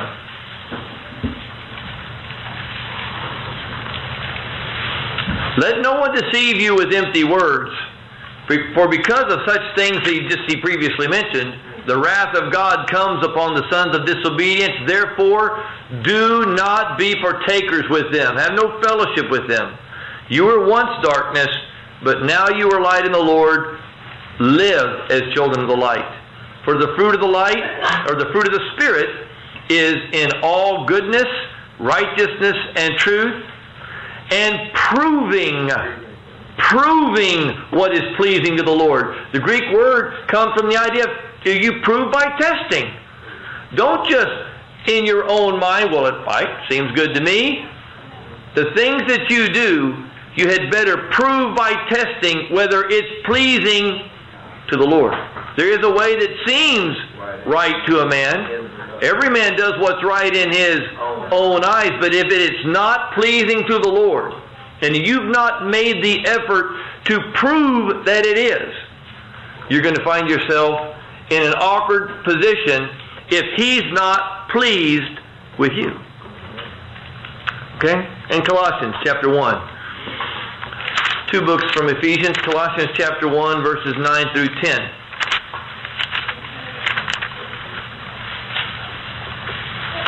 Paul's prayer for the saints there at Colossae is recorded in the first part of his letter to them. For this reason, we also, since the day we heard it, that's talking about of their faith, do not cease to pray for you and ask that you may be filled with the knowledge of his will and all wisdom and spiritual understanding, that you may walk worthy of the Lord. Some of the verses say, pleasing him in every way. Fully pleasing him, or pleasing him in all things being fruitful in every good work and increasing in the knowledge of God. This whole message this morning on my heart is a, a, a time for us to examine is that our modus operandi? Is it the reason we do everything to be pleasing to Him? The only safe way to live. And you're going to find in Scripture, it's not just it's not just a, a nice option if you want to be extra spiritual. It's a matter of life and death. You know, it, you want to hear God say to you, well done and welcome. He, he must view how you've lived well if he's going to welcome you. And he must view how you've lived as you have done well in order for him to say, well done, because he's not going to lie. To some people, he's going to say, depart from me, ye evil doers. They weren't well doers, they did evil. It's not just, it's not just a, for those who want to be extra spiritual. Those who please God will go to heaven. Why should God keep people around that he took no pleasure in? You and I don't. When, we, when, when something no longer gives us pleasure, we either sell it in a garage sale or throw it away. You? God has created hell for that purpose. All right? A question. Where can you and I look for an example, a model of someone who we know from the Scripture was fully pleasing to the Father? Enoch. Enoch? Okay, well, he walked with God. All right, that was easy. Is there another one that we might have a little more detail about? Jesus. How do we know that he was well pleasing to the Father? Uh, at his baptism. At his baptism, a voice from heaven was heard, This is my beloved Son, and with whom I am well pleased. Okay. Well, do you realize that this was said of him before he even began his ministry? He hadn't even begun to minister yet. So what had he done that had been so well pleasing? Okay, let's look in the scripture. All right, turn with me to Luke chapter 2. It says that everyone who claims to live in him ought himself to walk even as he walked. So why don't we just take his walk even before his ministry and measure our walk by it? Okay? And to see if, if, if we are well pleasing. Luke chapter 2, verses 39 and 40. Let's begin there. So when they had performed all things according to the law of the Lord, they returned to Galilee to their own city of Nazareth. And now speaking of Jesus, and the child grew and became strong in spirit. First thing I'll look at. You know, God is pleased when we grow. Yeah, for sure. Grow. Are you growing? Are you growing and becoming strong in spirit? Even in your old age. Are you finished growing? Are you is your love growing cold? Or is your love growing stronger? Is your walk becoming weak or is your walk becoming strong? God is pleased when we grow and become stronger. Look what it says in 1 Peter chapter 2. 1 Peter chapter 2 and and for the sake of brevity, if I don't give you a lot of time to turn there, have patience with me. I will tell you where the reference is. 1 Peter chapter 2 verses 1 and 2 state this. You don't need to have any extra Bible drill training when you attend this church. You just keep up. Just that's the you just learn. Therefore, laying aside all malice and all deceit and hypocrisy, envy, and all evil speaking, as newborn babes, crave the pure spiritual milk of the Word, so that you may what? Grow thereby. Okay? All right, we need to grow thereby. Ephesians chapter 4.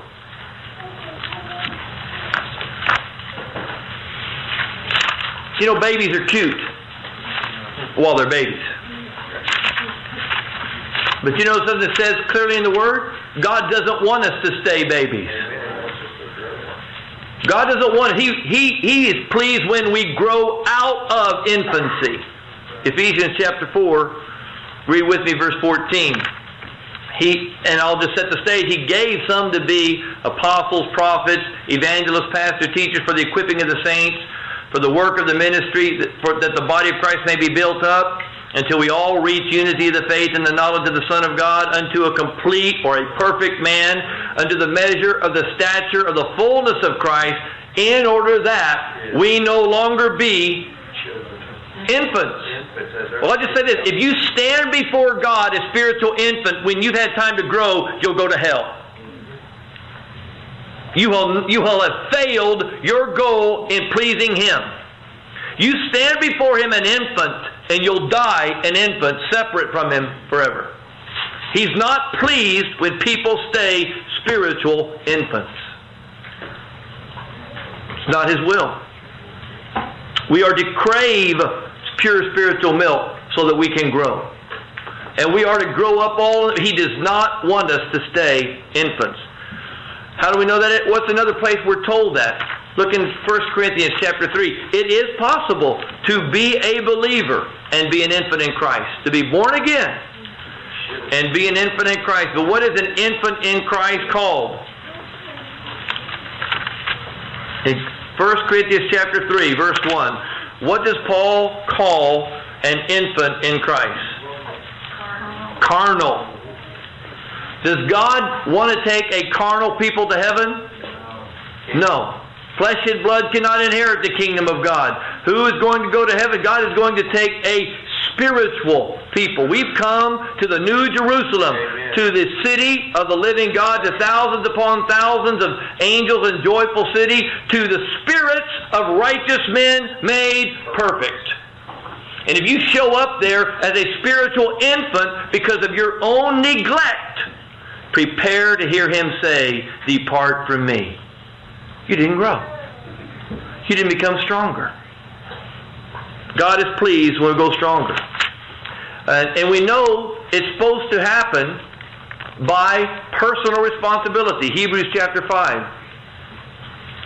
Hebrews chapter 5, verses 11 through 14. The writer of Hebrews explaining the difficulty that teachers have when they're trying to speak to someone who, by their own choices, are not able to hear and grow properly. Hebrews chapter 5, beginning with verse 11. Of whom we have much to say, speaking about Jesus' role as the high priest, of whom we have much to say, but it's hard to explain since ye have become dull of hearing. You don't hear well. For though by this time you ought to be teachers. Do you see that? There's a time period where someone should go from being a spiritual infant to someone able to teach others about the way of righteousness. Clearly, and if you are an infant by, by your choice, by neglecting your salvation, prepare to find out when you stand before God, He was not pleased with your progress. By this time, you ought to be teachers. But you need someone to teach you again what are the very rudimentary principles of the oracles of God. And instead of coming to need solid food, you come to need milk. For everyone who partakes only of milk is unskilled in what? The word of righteousness. That which is very pleasing to God. He's just a babe. But solid food belongs to those who are of full age, full stature, fully mature. That is, how did they get there? How did they get there according to the last part of verse 14? who by reason, here's the reason they are of full age spiritually. They have exercised their senses. You know what the word here is? They've gymnazoed them. That we get our word gym They've been to the spiritual gym and they have been working out spiritually. They have disciplined themselves. They have gymnized themselves to be strong spiritually. And if you are a spiritually pitiful infant because you refuse to go and practice some self discipline, prepare to stand before God and hear Him call you to account for being an expert in a lot of things while an infant spiritually. It does not please God for people to stay spiritual infants. And it's not just a matter, it's really not just a matter of, well, that would be neat. We can be kind of extra spiritual, and you could be one who leads in church. Do you realize what it says of those in 1 Corinthians chapter 9 when Paul says, those who came out of Egypt? Here, when he's describing all who came out of Egypt and all who passed through the sea and all who drank from the, from the rock and all who ate the spiritual manna, and they were baptized into Moses and in the cloud and in the sea, and they drank from the spiritual rock that was among them, and that rock was Christ. This whole description of them, it says here in 1 Corinthians chapter 9, uh, verse 10, actually 1 Corinthians 10, what it actually says was, Nevertheless, God was not pleased with most of them. It, in the Greek, it's most of them. And what happened to the ones he were not he was not pleased with? They died, they died where? Outside of the promise. You see where I get it from the scripture that if you die without having obtained the witness that you were pleasing to God, you will die outside of the promise. You will not enter the kingdom he has prepared for you. So Paul says, he has an example. He has a, he has a means to take care of this. The, chapter 9, verse 24. Okay? Chapter 9, verse 24 is the solution to this. Do you not know that those who run in a race all run, but one receives the prize? Run in such a way that you may obtain it. Now here's what he says. Everyone who competes for the prize is what? He is temperate, or he is self controlled, or he is disciplined in all things. Let me ask you that. Is your spiritual life that way? Everything you do, you, you, you check it out whether it's healthy for you spiritually. Or do you categorize, well, that's my spiritual life, that's Sunday, and that's Wednesday, or this is my little morning devotion. Hey, but the rest of this time, this TV show, this movie, this radio, this magazine, this activity, hey, that's okay because I fulfilled my little spiritual requirements. Or is it everything measured by, is this going, to cause me to grow? Is this going to cause me to be strengthened? Is this well pleasing unto God? If you don't live that way, don't expect to go to heaven. Because it's only those who live that way are well pleasing to God. Heaven is not a big, wide open gate for the masses. It's a narrow way and a very small gate, and only a very few find it. So Jesus uses this word in describing it agonize to enter. I encourage you to do so. Let's look back in uh, in uh, Jesus' life back in Luke chapter 2. Keep your finger there. We'll go back there a couple more times. Luke chapter 2, verses uh, 46 and 49. See how Jesus himself did this? Interesting story here. At what, where did his parents find him when they looked for him for three days? They found him in the temple. What was he doing? Verse 46. So it was that after three days they found him in the temple. Where? Sitting in the midst of the teachers, both listening to them and asking them questions. And all who heard him were astonished and, and at his understanding and answers. Now, where are you going to find someone interested in righteousness? You're going to find them sitting in the midst of those who have it. Are you sitting in the midst of the teachers? Or are you waiting for the teachers to chase you down like some unfaithful little puppy who doesn't know where to come to when the, when the plate's set out there all the time? We have Bible study here all the time. We gather for prayer all the time. Saints gather for all the time. And if you want it, you come for it. And if you're if you're not interested, you're only showing the world and others that it's not that big a deal to you. You can go where you want to go. You'll hear what you want to do, and what is a favorite thing of you, you pursue it all the time. Jesus showed what he was interested in knowing by where he was sitting in the midst of. He who walks with the wise becomes wise, but a companion of fools comes to ruin because he's not interested in wisdom. And if you want wisdom, it's there. And you'll show you want it by sitting in the midst of those who have it by the grace of God. And if you're not interested, you'll show it by your actions because you'll always do the things you want to do.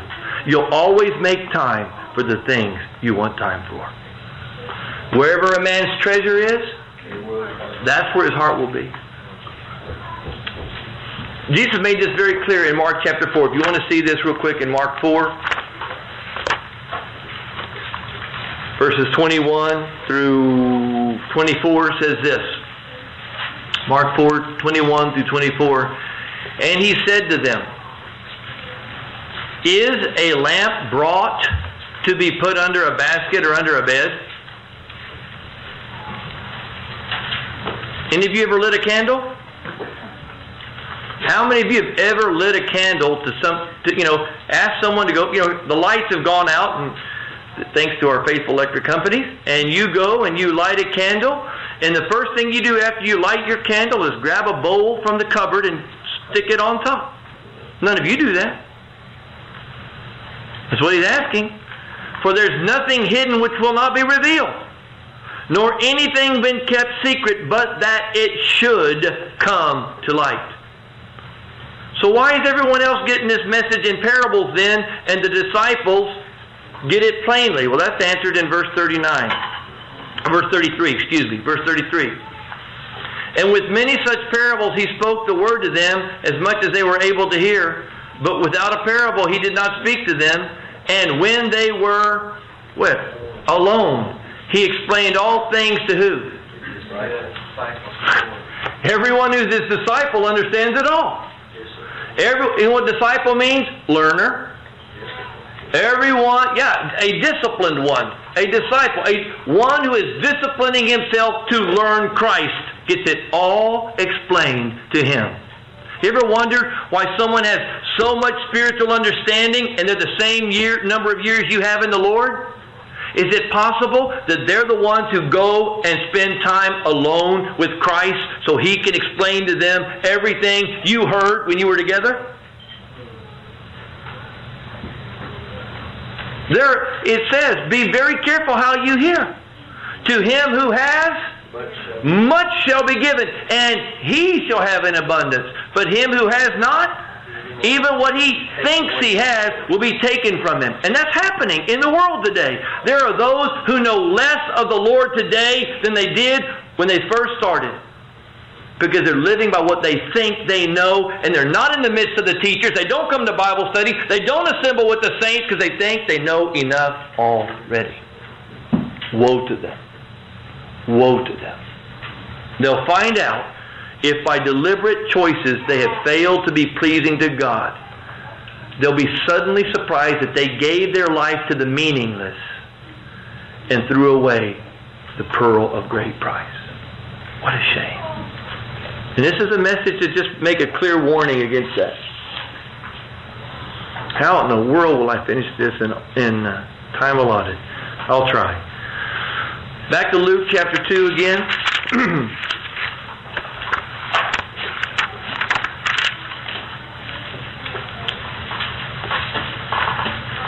Verse 40. Not only did he grow and was, and was becoming strong in spirit, what else in the latter part of verse 40 does it says he was? He was being filled with wisdom. I'm just going to mention one verse from this passage just for, for brevity's sake. One verse. Do not be foolish, but understand what the will of the Lord is. It's command. Foolishness is a choice. It's a choice to be ignorant by not pursuing to know.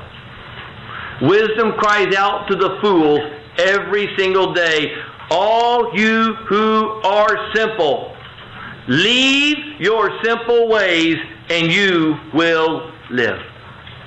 That's what wisdom cries out every day. You must leave simplicity to pursue knowing. And we had better not be foolish. We had better understand what the will of the Lord is. Because God, God says, this is good and acceptable before God who wants all men to be saved. Amen? We always say amen to there. What's the rest of that scripture? Someone quote me the rest of that scripture. This is good and acceptable before God who wants all men to be saved and come to the full knowledge of the truth. It's just as important. God wants to be known. He wants to be understood. He has made, He has hidden certain things. He's made them a mystery. You know why? It's the glory of God to conceal a matter. And it's the glory of kings to search it out. He didn't design. Where are you going to find treasure on this earth? When's the last time you found a diamond just walking out there on the road? When's the last time you came across valuable gold just walking along? You dig. You dig. You search. And you go where you know there's report that it is. It's amazing. When they heard report that there was gold found out in California, thousands of idiots ran out there. Excuse me. Sorry. Some of them actually found it. They weren't, I guess they weren't the idiots. They were the successful. But I mean, they sold everything for something that perishes. For perishes. It doesn't even last. And, the, and God is giving His knowledge to men. And there are certain men who have it. And, there's, and He's making it known to anyone who wants it. But if you are foolish enough to not avail yourself to it, you will show your own folly. And it's going to be fully exposed in the day you stand before Him and give an account for your, how little you cared about what was well pleasing to Him. Be careful.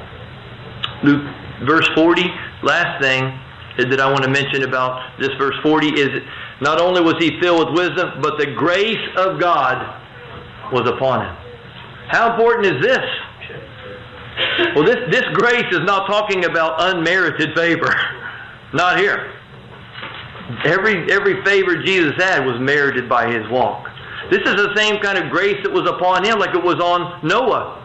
Well, while the whole world was filled with wicked, and every every thought of men was, was only evil continually from their youth, Noah found grace in the eyes of God. And this was a testimony of Noah. He was blameless and righteous among the generation of his time. That's why he found grace with God. And that kind of grace had better be upon us. You know what the scripture says? It says, The grace of God that bringeth salvation has appeared unto all men. And what does that grace do? It child trains us.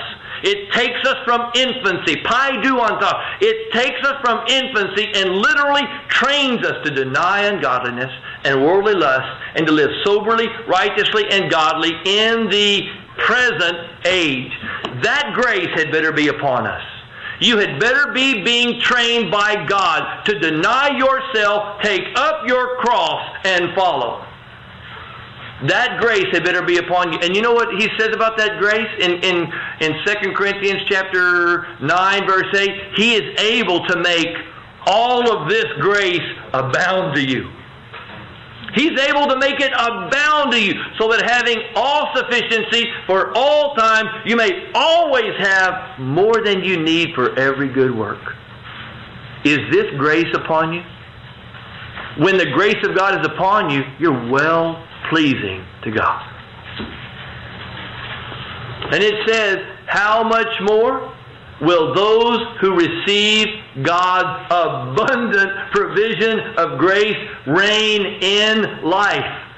That's Romans chapter 5, verse uh, 17. If, if you want to be well pleasing to God, you had better be growing. You had better be becoming strong in spirit. You had better not still be an infant.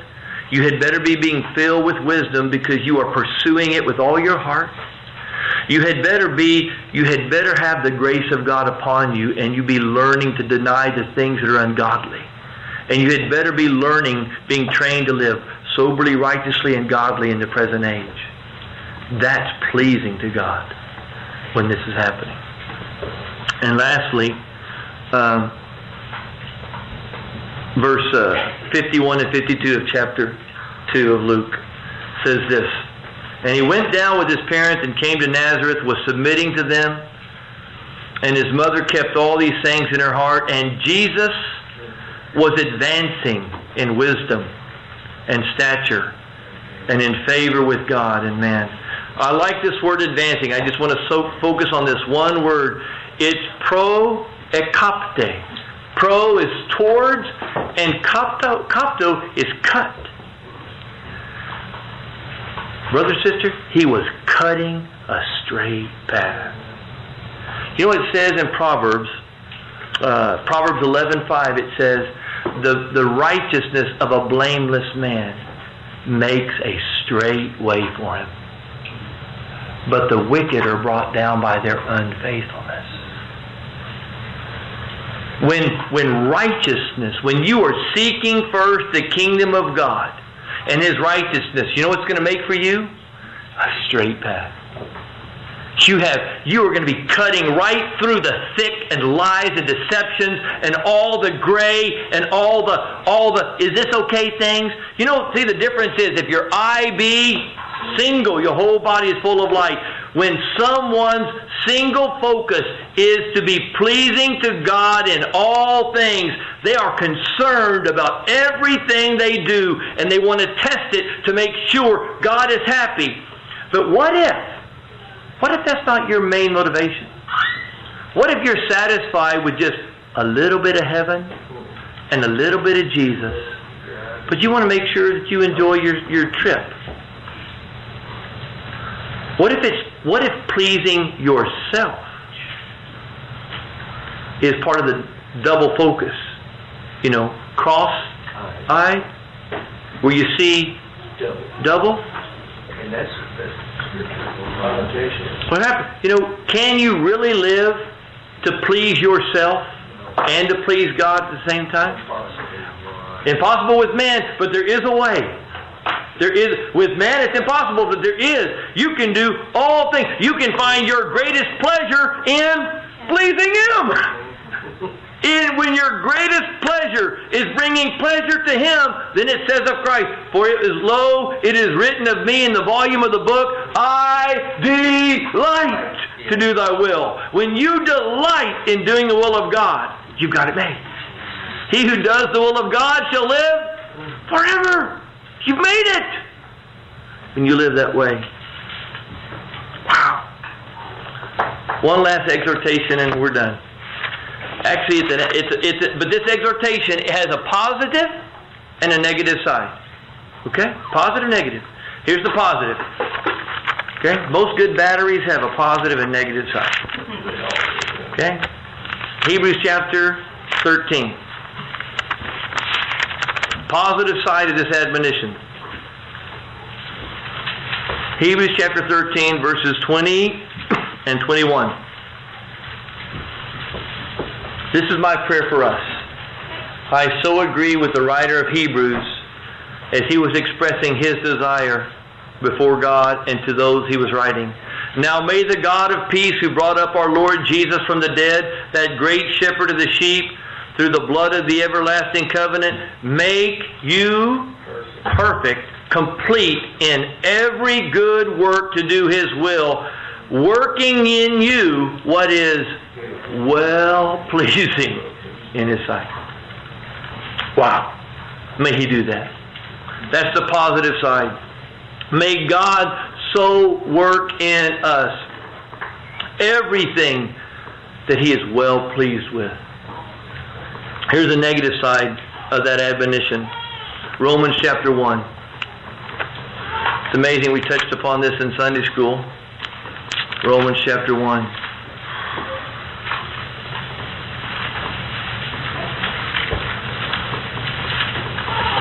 Speaking of a people who know certain things are right and wrong. I can say very comfortably every single one of us here very comfortably fit in this verse as at least at the minimum of those who know God's righteous judgment. Because he says everyone knows it. The heavens declare it. The skies proclaim the work of his hand. All men are without excuse. Everyone knows God's righteous judgment. They all know it. It says in verse 32, who knowing the righteous judgment of God, that those who practice such things deserve death, not only they do the same, but what what's the scary part of the last part? It, it says in the in the New King James they also approve of those who practice them. The literal Greek word is they think well with. Eudikeo is the same word for pleasure. When you think well of something, it pleases you. A simple admonition, no, not a simple, a life or death admonition to every person here. If you take pleasure in something God hates, you're going to hell. Plain and simple. Justify yourself, call me a legalist, you'll burn in hell while I spend time with the Father forever if I am found pleasing in his sight. The argument is not with me. You had better test all things and find them pleasing to him. Because it says, last verse comes to my mind, Second Thessalonians, so that all will be damned. who have received not the love of the truth, but taken pleasure in unrighteousness, thought well of unrighteousness. May God have mercy on us. Let's pray.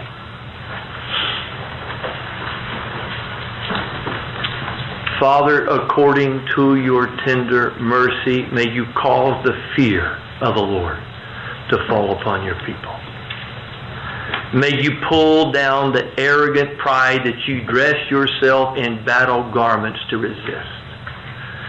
And may every person here who humbles themselves and trembles at your word find you faithful to pour out grace upon. May your word be fulfilled. To the blameless, you show yourself blameless. To the pure, you show yourself pure. But to the crooked, you show yourself perverse. May everyone who wants to know you with a pure heart see you clearly. May everyone hungering and thirsting for righteousness be filled. And may, according to your great mercy, may sinners be turned from the error of their way, that they could be saved from death. May, may you grant them repentance back to a life totally given over to pursue and do what brings you pleasure. We acknowledge we breathe your air. We enjoy the laws of your creation. We partake of the food you've provided. In you we live and move and have our being, and some here, Father, are using the very being and life you're giving them to on their own wicked and evil lust. Deliver them, Father. Deliver them. Have mercy. May the fear and the terror of God, your hatred for sin, but your willingness to be merciful to all who forsake it, be upon us all. In the name of our Lord Jesus. According to your will, we ask. Amen. Sober word. Excuse me for being a little long. Brandy's going to come forward and just take our prayer request, and I don't believe we have uh, a rooming announcement.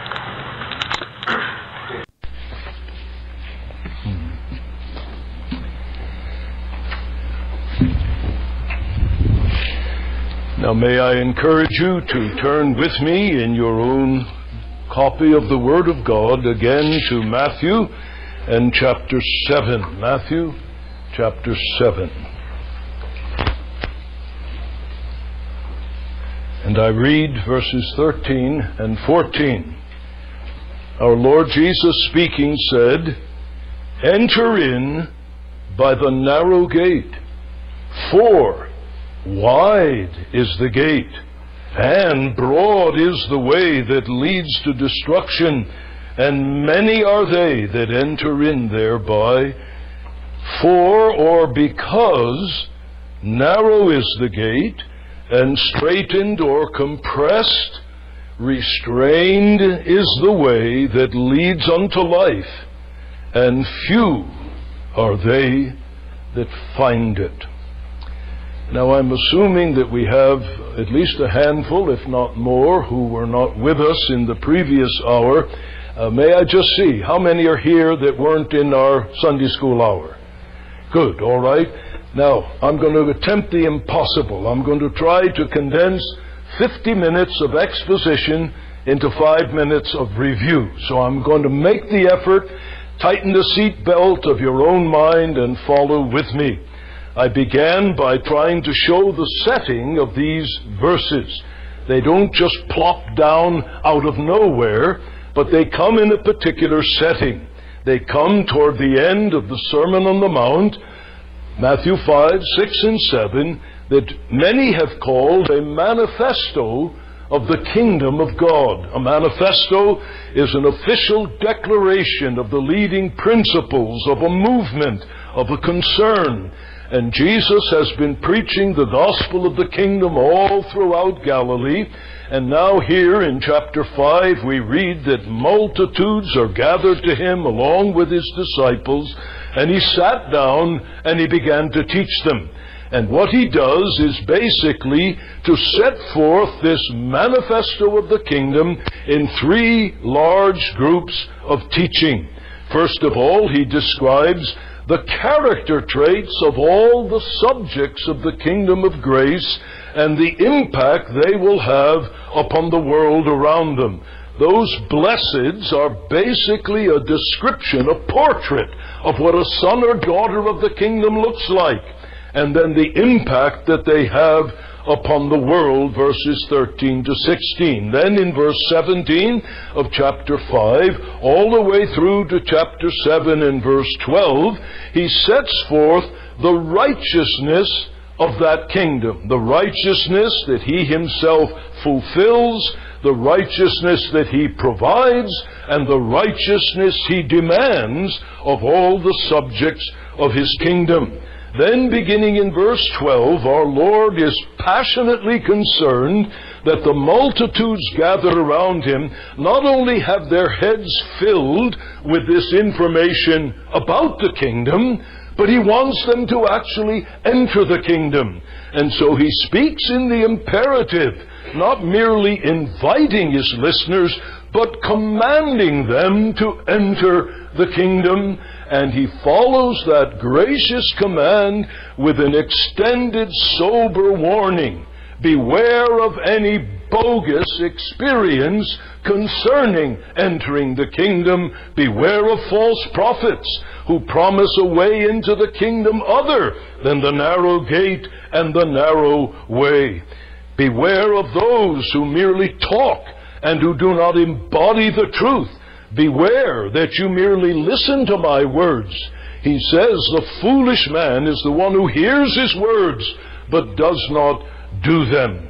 Then as we turn to the text itself, I ask you to note three things with me. The inseparable relationship between the gate, the way, and life. These three things are inseparable. And if you would go to heaven Christ's way, you must get through the narrow gate and you must be found walking upon the restricted, the constricted, the compressed way. They are inseparable. You got all kinds of people that think they've come through the gate, but they're not on the narrow way, and yet they think they're going to heaven. Impossible. You've got others that try to live like a Christian who haven't come through the narrow gate. That's impossible. The gate and the way and life are inseparable realities. And then secondly, we must always remember the relative number of those who discover the narrow gate, walk on the narrow way, and enter into life with those who take an alternate way, the wide gate, the broad road that leads to destruction. Few find the narrow gate in the narrow road. Many enter in at the wide gate and the broad road. And then at the end, I asked you to notice of those three observations that there is always this dangerous but popular alternative to the narrow gate and to the compressed and restricted way. Jesus no sooner says, enter in by the narrow gate, but he gives a warning. There is a popular alternative, a wide gate and a broad way, but they lead to destruction. Then we parked for a while at that gate. What is it? It's a picture of biblical conversion, a sound, deep work of the Holy Spirit by which we are brought out of darkness into light, out of the kingdom of the devil into the kingdom of God. And I suggested, taking most of the material right from the Sermon on the Mount, that five things need to be unpacked at that gate. There are five things that must be repudiated if we are truly to enter the kingdom. We must repudiate all of our man-made notions about truth and reality. At that gate, Jesus stands saying, I am the king in my kingdom. Enter here, and what I say must regulate all of your thinking about all of life and all of conduct. Secondly, we must repudiate our own righteousness. The Christ who stands there is the one who will eventually die, that he might satisfy the law of God in his death, and that he might provide a righteousness for us. And so the very first beatitude is, Blessed are the poor in spirit. They have nothing, can do nothing to earn their acceptance with God. They look out of themselves to another for their acceptance. And thirdly, there must be the repudiation of self as the governing principle of life. We come up to the gate, we've been living unto self. If we get through the gate, we no longer live unto ourselves, but unto him who for our sakes died and rose again.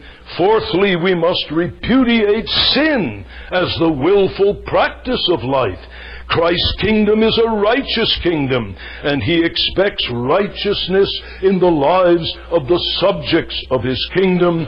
And fifthly, we must repudiate the world as our chosen companion in life.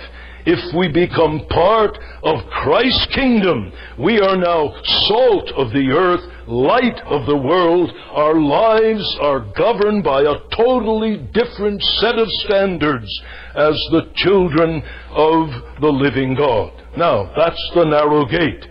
What then is this narrow or compressed way? Look again at the text. Enter in by the narrow gate, for wide is the gate, broad is the way that leads to destruction, and many are they that enter in thereby. Let's try to grapple with the identity of the narrow way. The word way is a standard word in the New Testament for a road or a path, something you travel on. That's it. Very simple. You don't need to know any uh, subtle nuances of the Greek language. He uses a very common word about this way, but then he uses a not so common word when he says, narrow is the gate and straitened or compressed or pressured or restricted is the way. This is the word translated elsewhere in the New Testament by the word afflicted. 2 Thessalonians 1 in verse 6, Hebrews 11 in verse 27. Affliction is external pressure that comes upon us. Then there's one use that is very helpful. In Mark 3 9, it speaks of Jesus entering into a boat because the crowds were, here's our word, thronging him. They were pressing in upon him, and the Lord could hardly breathe, let alone have a good setting in which to preach and teach, so he asked them to put him in a little boat and go out into the lake, and from the lake, getting a little space between him and the people, he was able to teach and to preach. So the whole concept of this word is something that is pressured, hemmed in, restricted. So our Lord says that the way that leads unto life is not a big, broad, six lane highway straight as an arrow. It is a narrow, it is a restricted, it is a constricted, it is a pressured and difficult way that leads unto life. And if you get nothing else this morning, I hope you do get something else. I hope you get this. What I want to establish from the scriptures is that this narrow, restricted, pressured way is nothing more, nothing less than every issue faced at the gate extending into life itself.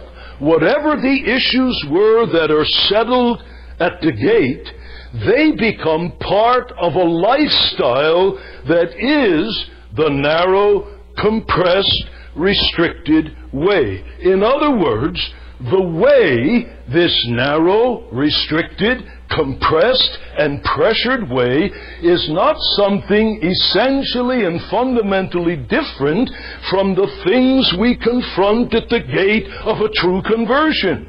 No, it is simply the principles embedded in the heart of a sinner born of the Spirit of God who enters the gate, and what does he find?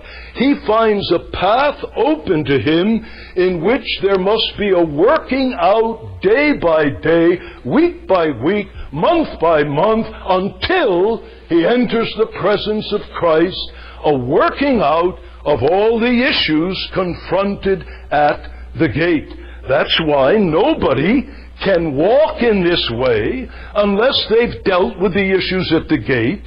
And the only proof that you've gotten through the gate is that you're walking in the way that is determined by the issues that are settled at the gate. You follow me? So the gate and way are united. That's why Jesus uses the singular when he says, And few there be, not that find them, the gate and the way, few there be that find it. Because there is an organic relationship between the gate and the way. Now, if that's so, let's go back then. What were the issues we said had to be confronted at the gate? What were the things that had to be unpacked at the gate? Well, the first was repudiating man-made thoughts about truth and reality. Recognizing that left to ourselves we are blind, our minds are clouded, that we do not see reality for what reality is, and at that gate we're prepared to say, Lord Jesus, I embrace you as my prophet to teach me. Teach me who and what I am as a man. Teach me who and what I am as a woman. Teach me who and what I am as a father. Teach me who and what I am as a mother. Teach me who and what I ought to be as a son, as a daughter, as a citizen, as a workman, in every area of life, prepared to think God's thoughts after Him. Well, if that's what's involved in true conversion, the first part of this narrow way is this.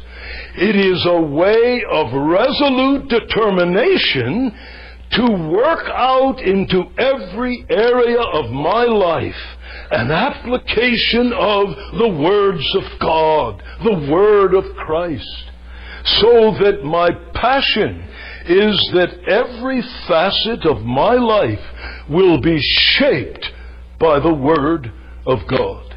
Because though we repudiate all man-made thoughts about truth and reality at the gate, we carry a lot of internal baggage with us where we still think like worldlings and we still respond like worldlings. This is why the Apostle Paul used this language in Ephesians 4 and verse 23. This is a very key text as we think through this matter. Ephesians 4 and verse 23.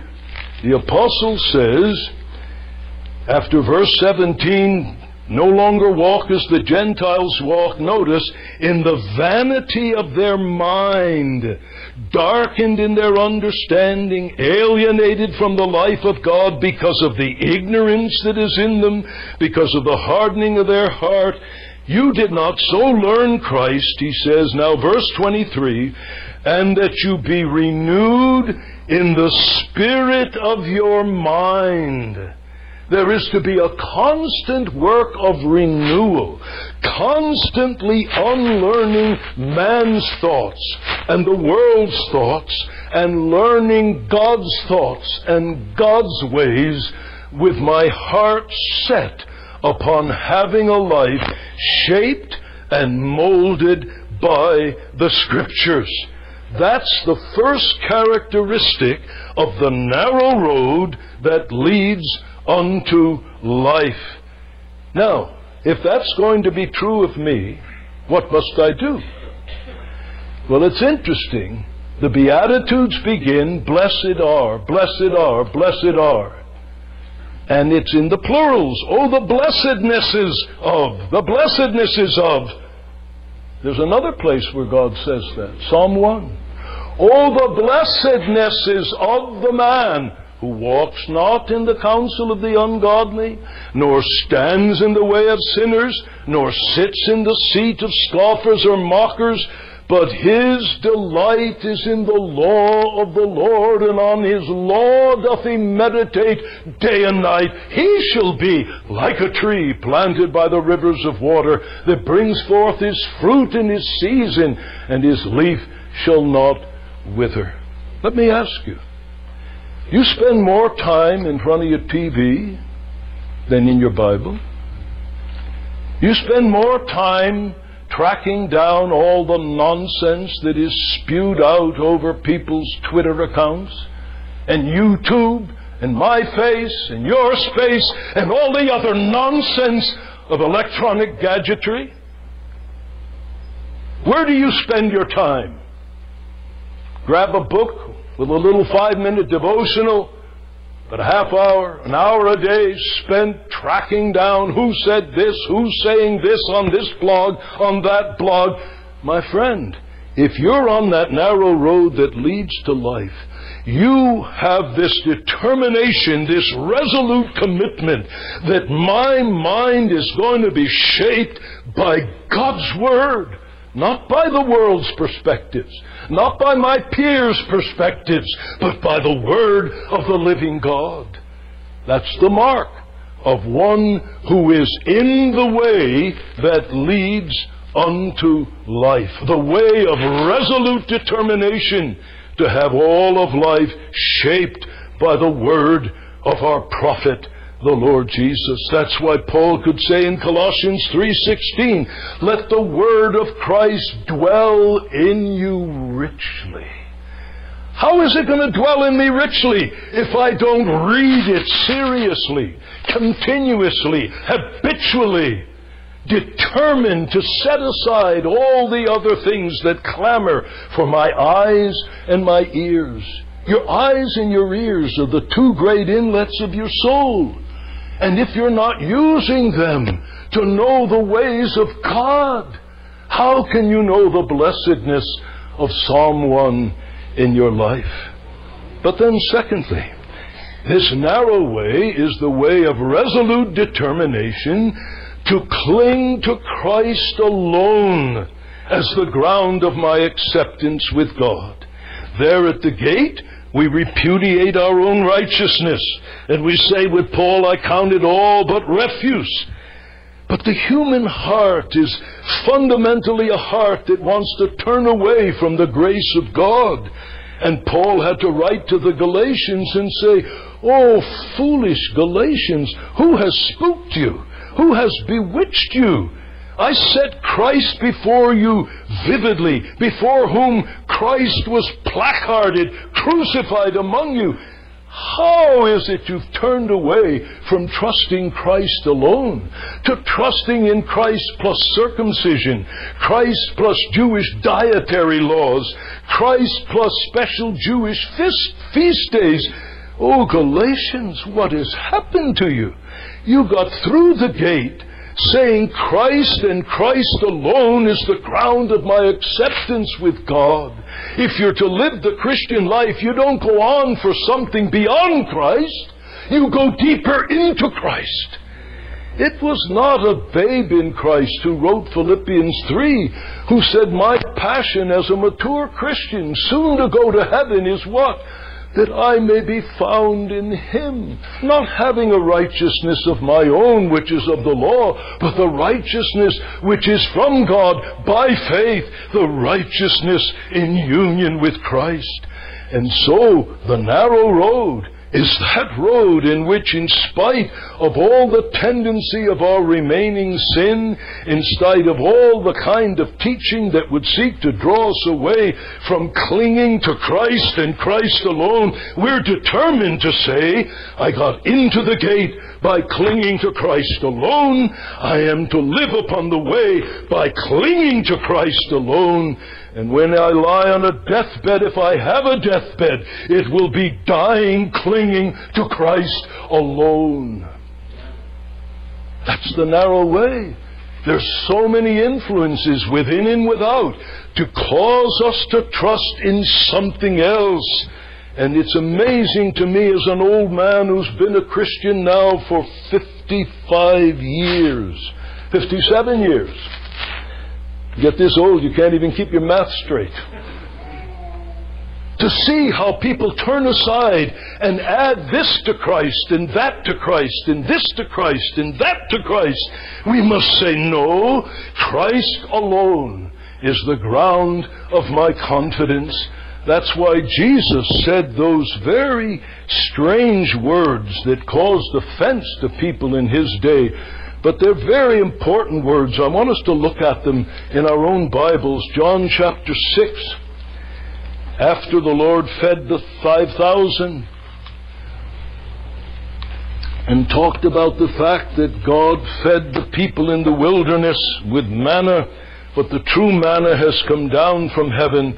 Listen to these strange words of the Lord Jesus in John 6, beginning in verse 54. John 6:54. He that eats my flesh and drinks my blood has eternal life, and I will raise him up at the last day. For my flesh is meat indeed, and my blood is drink indeed. He that eats my flesh and drinks my blood abides in me, and I in him. Do you want to have eternal life? You will only get it by eating and drinking Christ eating his flesh, drinking his blood.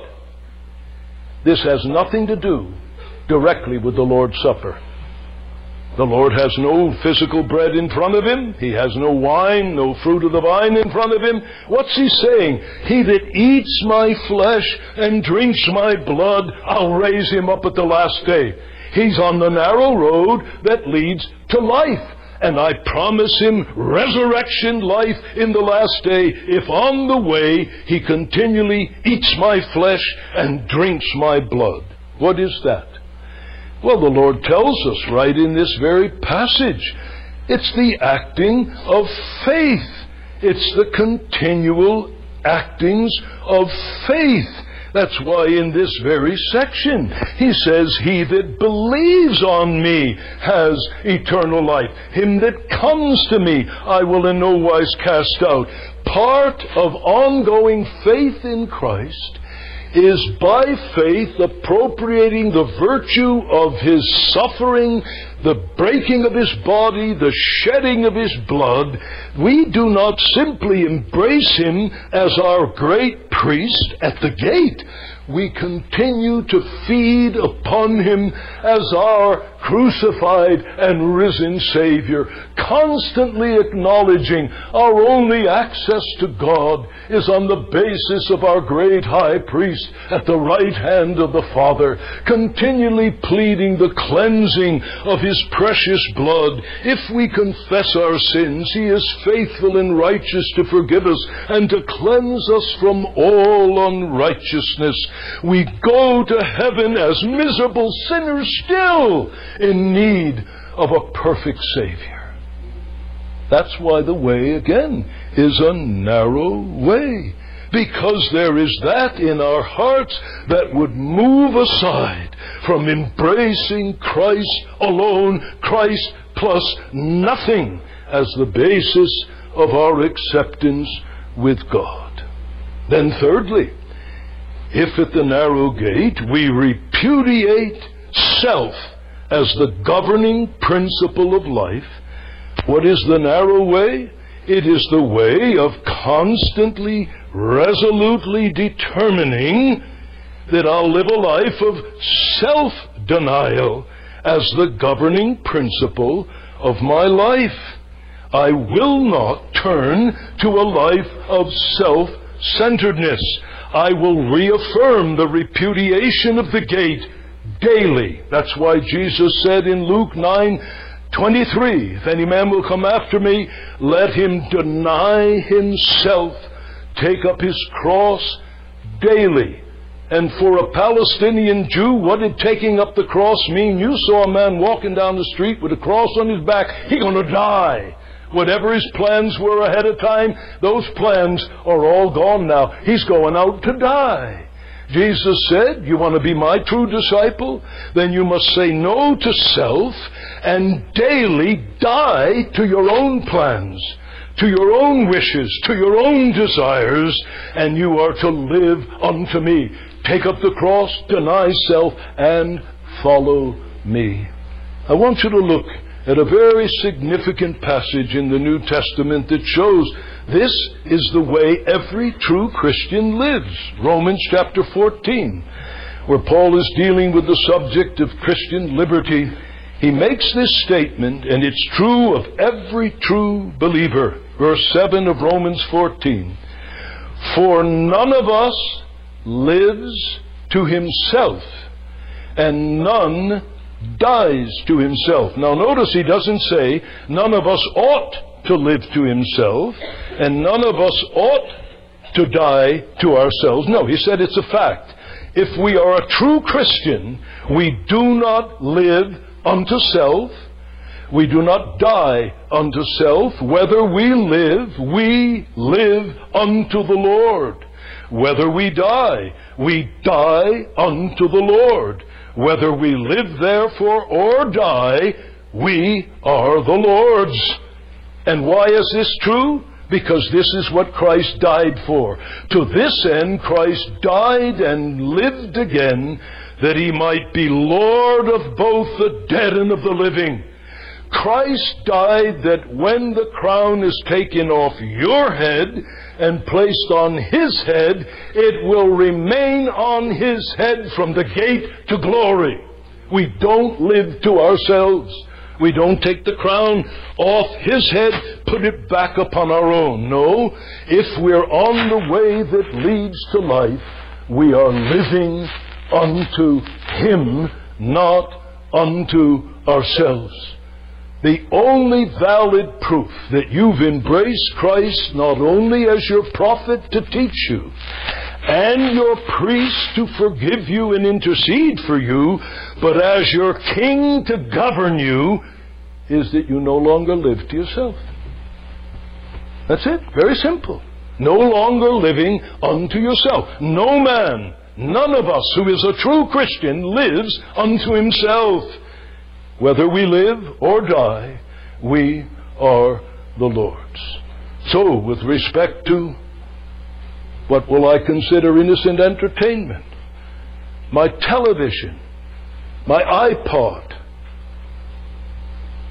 my MP3 player, every one of these electronic gadgets that contains information, music, something that comes into my ears or my eyes, if I'm a true Christian, I want it filtered through the Lordship of Christ. Would Jesus Christ be pleased with what I'm listening to? Would Jesus Christ approve of what I see? Would Jesus Christ approve every area of life? And it's not a burden because He said, My yoke is easy and my burden is light. He does impose a yoke upon us. He says, Come unto me, all you that labor and are heavy laden. You labor under the tyranny of self. I'll relieve you of that tyranny. Come unto me, I'll give you rest. But then he says, Take my yoke upon you. What's a yoke? It's that instrument that bound two animals together to plow in the same direction, or a man placed over his shoulder to carry a burden. In either case, he says, Take my yoke upon you. Be yoked to me. You're going to move where I move. You're going to think as I think. You're going to indulge what I approve and what has my smile. That's the mark of someone who's on the way that leads unto life. Do I take that next bit of food into my mouth? What is Christ will? God puts the glutton and the drunkard in the same category. What goes in minus what goes out, minus what's burned up, stays on. And I have no right. This body is the temple of the Holy Spirit. It is indwelt by the Holy Spirit. And I'm commanded to glorify God in my body. Do I glorify Him by loading my body with so many extra calories that I put a strain upon my heart, make myself liable to diabetes? Is Christ's Lordship over your mouth? Not only what you say, but what and how much you eat. Just that practical, folks. If Christ is Lord, I don't eat to myself. I don't sit to myself. I don't read to myself. I don't listen to anything to myself. I want in everything that I shall please my Master. Then, fourthly, if at the gate there is this repudiation of sin as our willful practice in life, what's the mark of the narrow way? Well, it's the way of resolute determination. Now, notice carefully what I'm going to say. To avoid sin, to mortify sin, and to cultivate Christ like graces. If sin and I had a real divorce at the gate, the proof that I'm in the way, the way of holiness and sanctification, is that I seek by the strength of Christ to avoid occasions of sin, to put sin to death, and to cultivate the graces of likeness to Christ. Right here in the Sermon on the Mount, Jesus said one of our petitions should be what?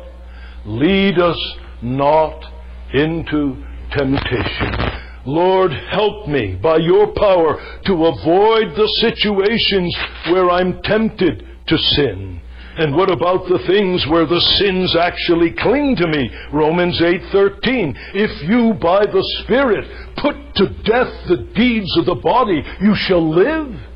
If you live after the flesh, you shall die, Paul says. But if you continually by the Spirit put to death the deeds of the body, you shall live. John Owen said, You and I must continually be killing sin, or sin will kill us. But then that's not all. There will be the cultivation of Christ like graces. 2 Peter 1 5, God has given to us exceeding great and precious promises that by these we may be partakers of the divine nature. 1 John 2 6, He that says he abides in him ought himself so to walk even as he walked. The fruit of the Spirit is love, joy, peace, long suffering, gentleness, goodness, faith, meekness, self control. What are those but Christ like graces? And this becomes a passion to us that we want to be as much as we can be now what we're going to be when God's done with us. When God's done with us, we're going to be just like Christ. We're not going to be God. We're going to be human beings. But the scripture says, whom he did foreknow, he predestined to be conformed to the image of his Son. Think of it. Here God gets us at the gate, and we are marred, scarred, twisted, grotesque image bearers. We're still image of God, but it's marred, it's twisted, it's grotesque, it's deformed. And when at the gate we say, Oh God, I repudiate the sin that has twisted me and marred me and scarred me and deformed me, and I want to be made into the likeness of your Son. That's why you set your love upon me and predestined me unto grace, that when you're done with me, he will be the firstborn among his family, in which the whole family will look just like him. We'll have perfected spirits in deathless bodies, and we will be like Christ. But all along the way from the gate till the time we die or the Lord returns, God is doing that work of gradually conforming us to the likeness of Christ. Isn't that we read about in 2 Corinthians 3 this morning? Paul says, We all, not just the apostle, all the Corinthians, we all with open face beholding as in a mirror the glory of the Lord, are being transformed into that image from one stage of glory to another, even by the Lord the Spirit. That's what this narrow way is. It is the way of avoiding sin, as we saw in the previous hour. Sin's as dear as right hand and right eye must be dealt with mercilessly. It is the way of putting sin to death, using every single means to overcome besetting, clinging sins. As I mentioned in the previous hour, it seems that some sins are as much a part of us as our own skin, but we're ready to wage all out warfare against it, and we are determined to be more and more like the Lord Jesus. This is what the writer to Hebrews meant when he said, Follow after peace with all men and the holiness without which no man shall see the Lord. 2 Timothy 2:19 The Lord knows them that are his let everyone that names the name of Christ depart from iniquity. There was an old Scottish theologian who wrote some very pithy statements. And one of them that I've never forgotten is this. His name was John Duncan. They called him Rabbi Duncan. He was so knowledgeable in Semitic languages, in Hebrew, etc. He said, Nobody's perfect. Yes, nobody's perfect.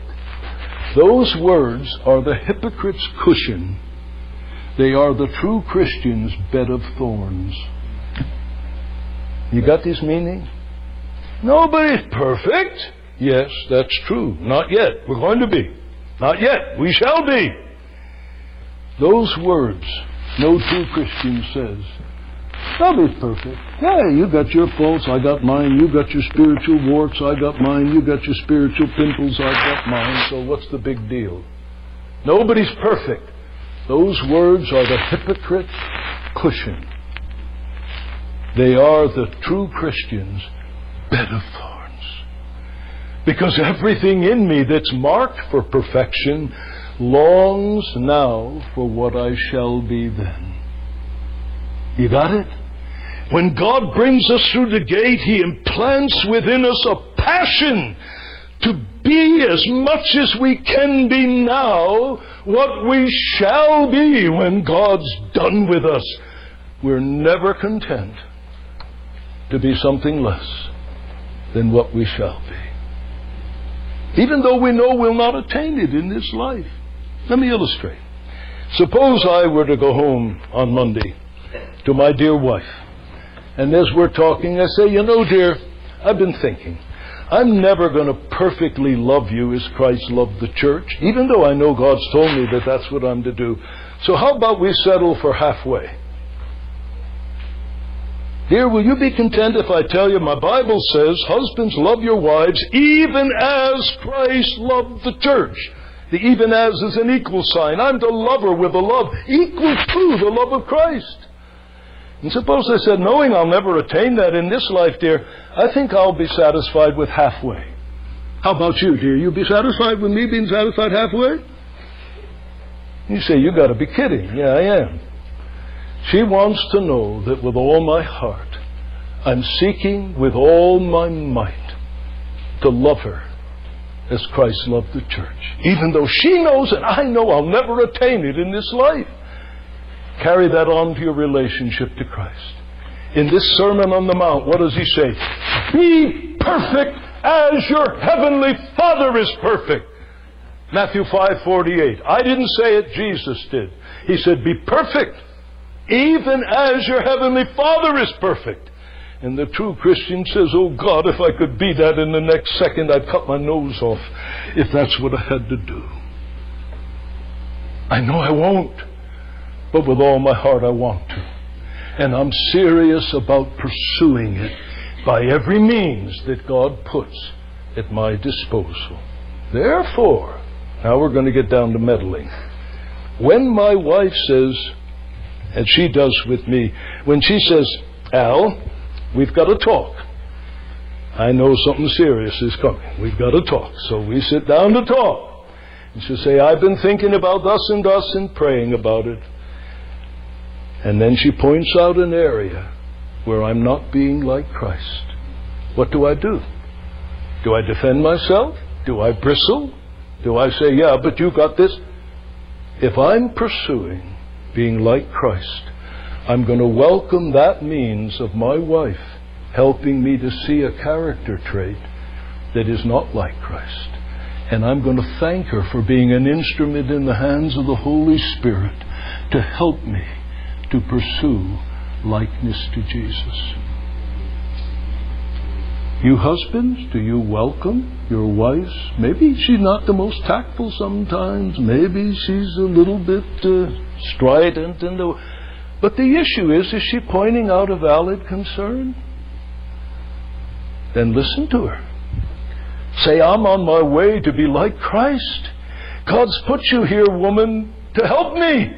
And though I don't like what you just told me, it's true. Let's pray and ask God to help this thick skinned, boorish, insensitive man to get his act together in this area. And how about you wives? Do you welcome the input of your spouse? How about your kids?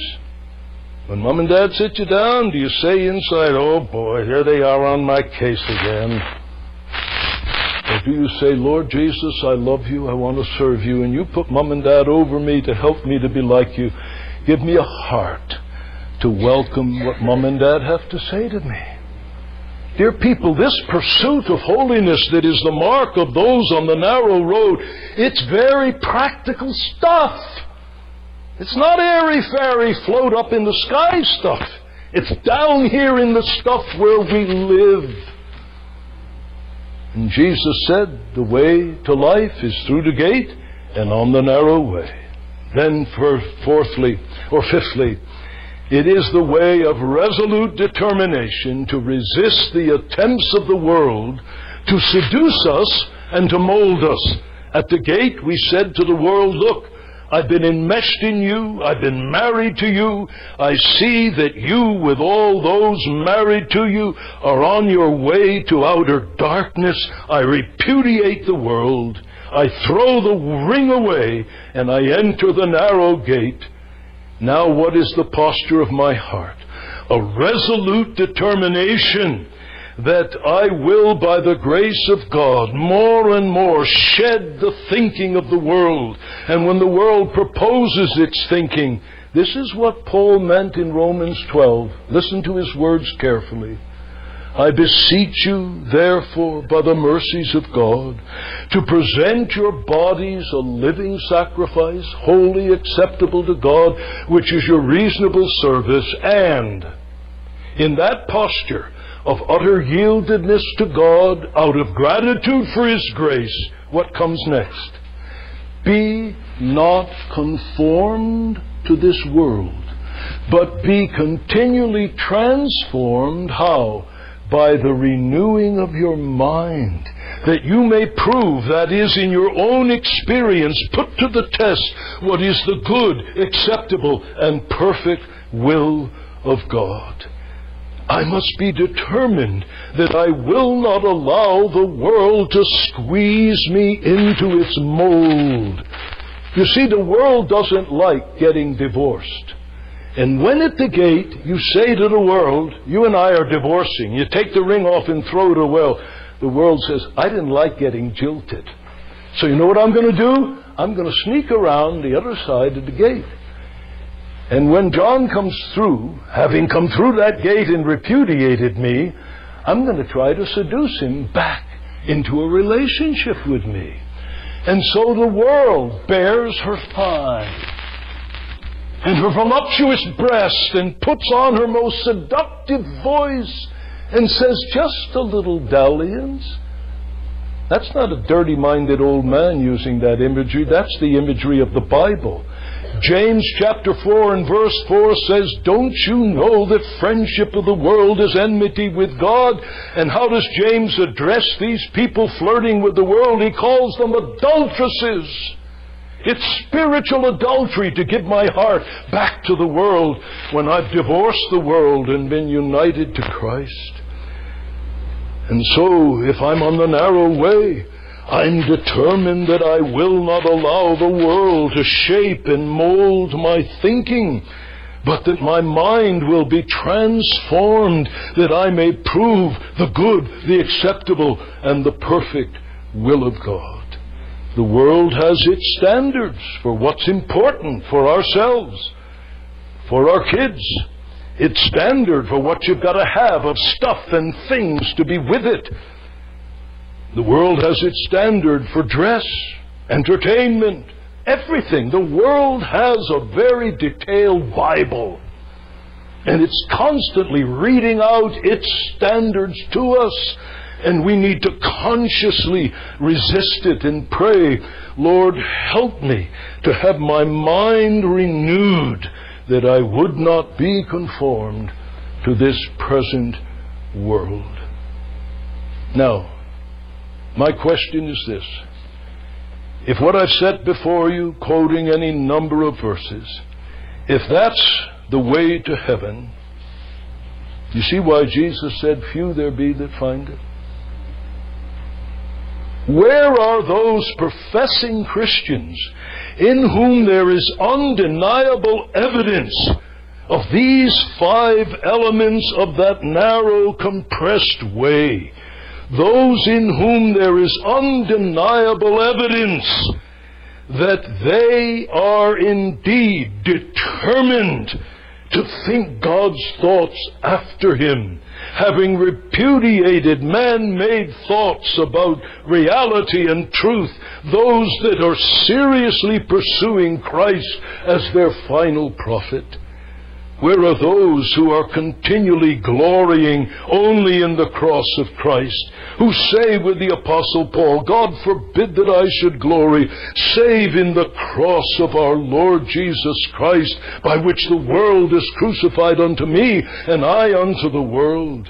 Where are those professing Christians in whom it is evident that self has been repudiated and that with all their hearts they're seeking to live unto Him who died for them and rose again? Those Christians who keep a tender, sensitive conscience.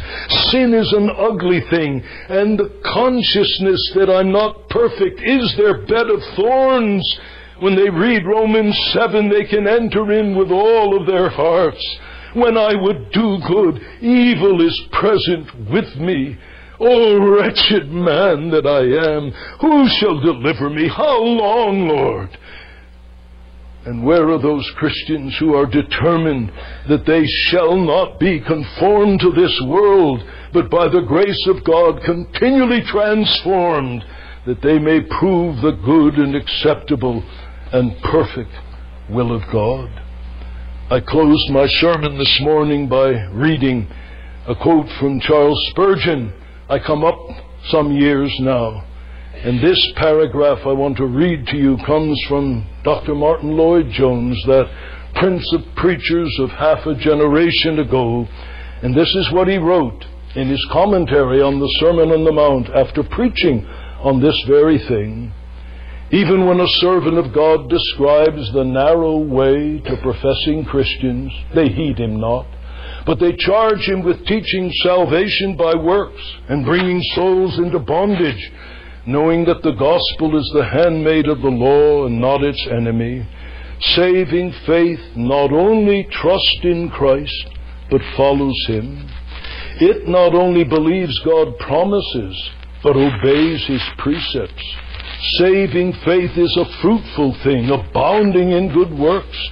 It enables its possessor to endure trials, resist the devil, overcome the world. None tread the narrow way, save those who make vital godliness their chief concern, the main business of life. Hence we see why it is that the vast majority of our fellow men and women, yes, and professing Christians also, will fail to reach heaven. It's because they prefer sin to holiness, indulging the lust of the flesh to walking according to the Scriptures, self to Christ, the world to God, the broad way to the narrow. They are unwilling to forsake their sins, destroy their idols, turn their backs on the world, and submit to Christ as Lord. Jesus knew what he was doing when he gives this gracious invitation to enter the narrow gate and walk upon this restricted way by giving the warning. I tell you this, he says, because there is a wide gate, an easy alternative, easy Christianity. Stuff a few thoughts about Christ in your head, say a few words with your lips, and you're in. No, that's the big wide door, not the narrow gate of true Holy Spirit wrought conviction. And then they conjure up a theory of the Christian life in which you can be saved but not surrendered. You can be justified but not sanctified. You can have Christ as Savior but not as Lord. You can be going to a heaven where holiness reigns while holiness is not the passion here on earth. That's the big wide road of bogus Christianity. And it's promulgated by false prophets whom Jesus warns about. Beware of false prophets. Anyone who tells you there's a way to heaven other than this narrow, constricted way is a false prophet. Don't believe him. Don't believe him. And make sure that you are determined to put yourself under and keep yourself under a ministry that continually reminds you the way is narrow. The gate is narrow. The way is restricted and pressured and constricted. But bless God, it leads to life. And my final note is this, and it's vital. When we come through the gate of true biblical conversion, in that work of God bringing us through the gate, we are united to Christ by faith and by the indwelling of the Holy Spirit, so that we are not called upon to walk that narrow road in the strength and impoverished resources of our own native humanity. The Scripture says, Work out your own salvation with fear and trembling, for God is at work in you, both to will and to work for his good pleasure. Christ said, I am the vine, you are the branches. Apart from me you can do nothing. Abide in me and I in you. And in that relationship of communion with me and pleading with me on the basis of my words, you abide in me and my words abide in you. You will ask what ye will and it shall be done unto you. Herein is my Father glorified that you bear much fruit. God has taken the initiative to get us through the gate, and He continues to take the initiative to bring us along the way. I love that verse. He is at work in me to will and to work for His good pleasure. Let's put it into concrete. Here I am before a temptation, something that has been a besetting sin, and I recognize it. And I say, Oh God, help me to say no to that. Help me to turn from that. And we are conscious that we exercised our wills. And it was as painful as cutting off a right hand, gouging out a right eye. And when we have conquered, we don't then turn around and pat ourselves on the back. We say, Thank you, Lord. You gave me the will to turn from that sin. And you gave me the power. He works in us both to will and to work. But He doesn't do it in such a way that we're just kind of like passive floppy dolls. Oh Lord, work. No, no. We have to cut and gouge and cast away. But when we have, we don't pat ourselves on the back. We look back and say, Lord, you worked in me to will and to work for your good pleasure. Lord Jesus, without you I can do nothing. It was your grace that I said no to that extra piece of pie that I know I shouldn't eat to the glory of God. And when we've done it, we say, Lord Jesus, thank you for putting in me both the will and the power to do. It's an amazing thing, isn't it? We work but it's by, as Paul said, we strive according to his working, which works in us mightily. Well, who strives, Paul? You or the Lord? He said, I strive, and the Lord works in me mightily. He's a braggart, you know. He says in Philippians 4:13, "I can do all things." Wait a minute. You can do all things? Yes. All things that the will of God demands of me.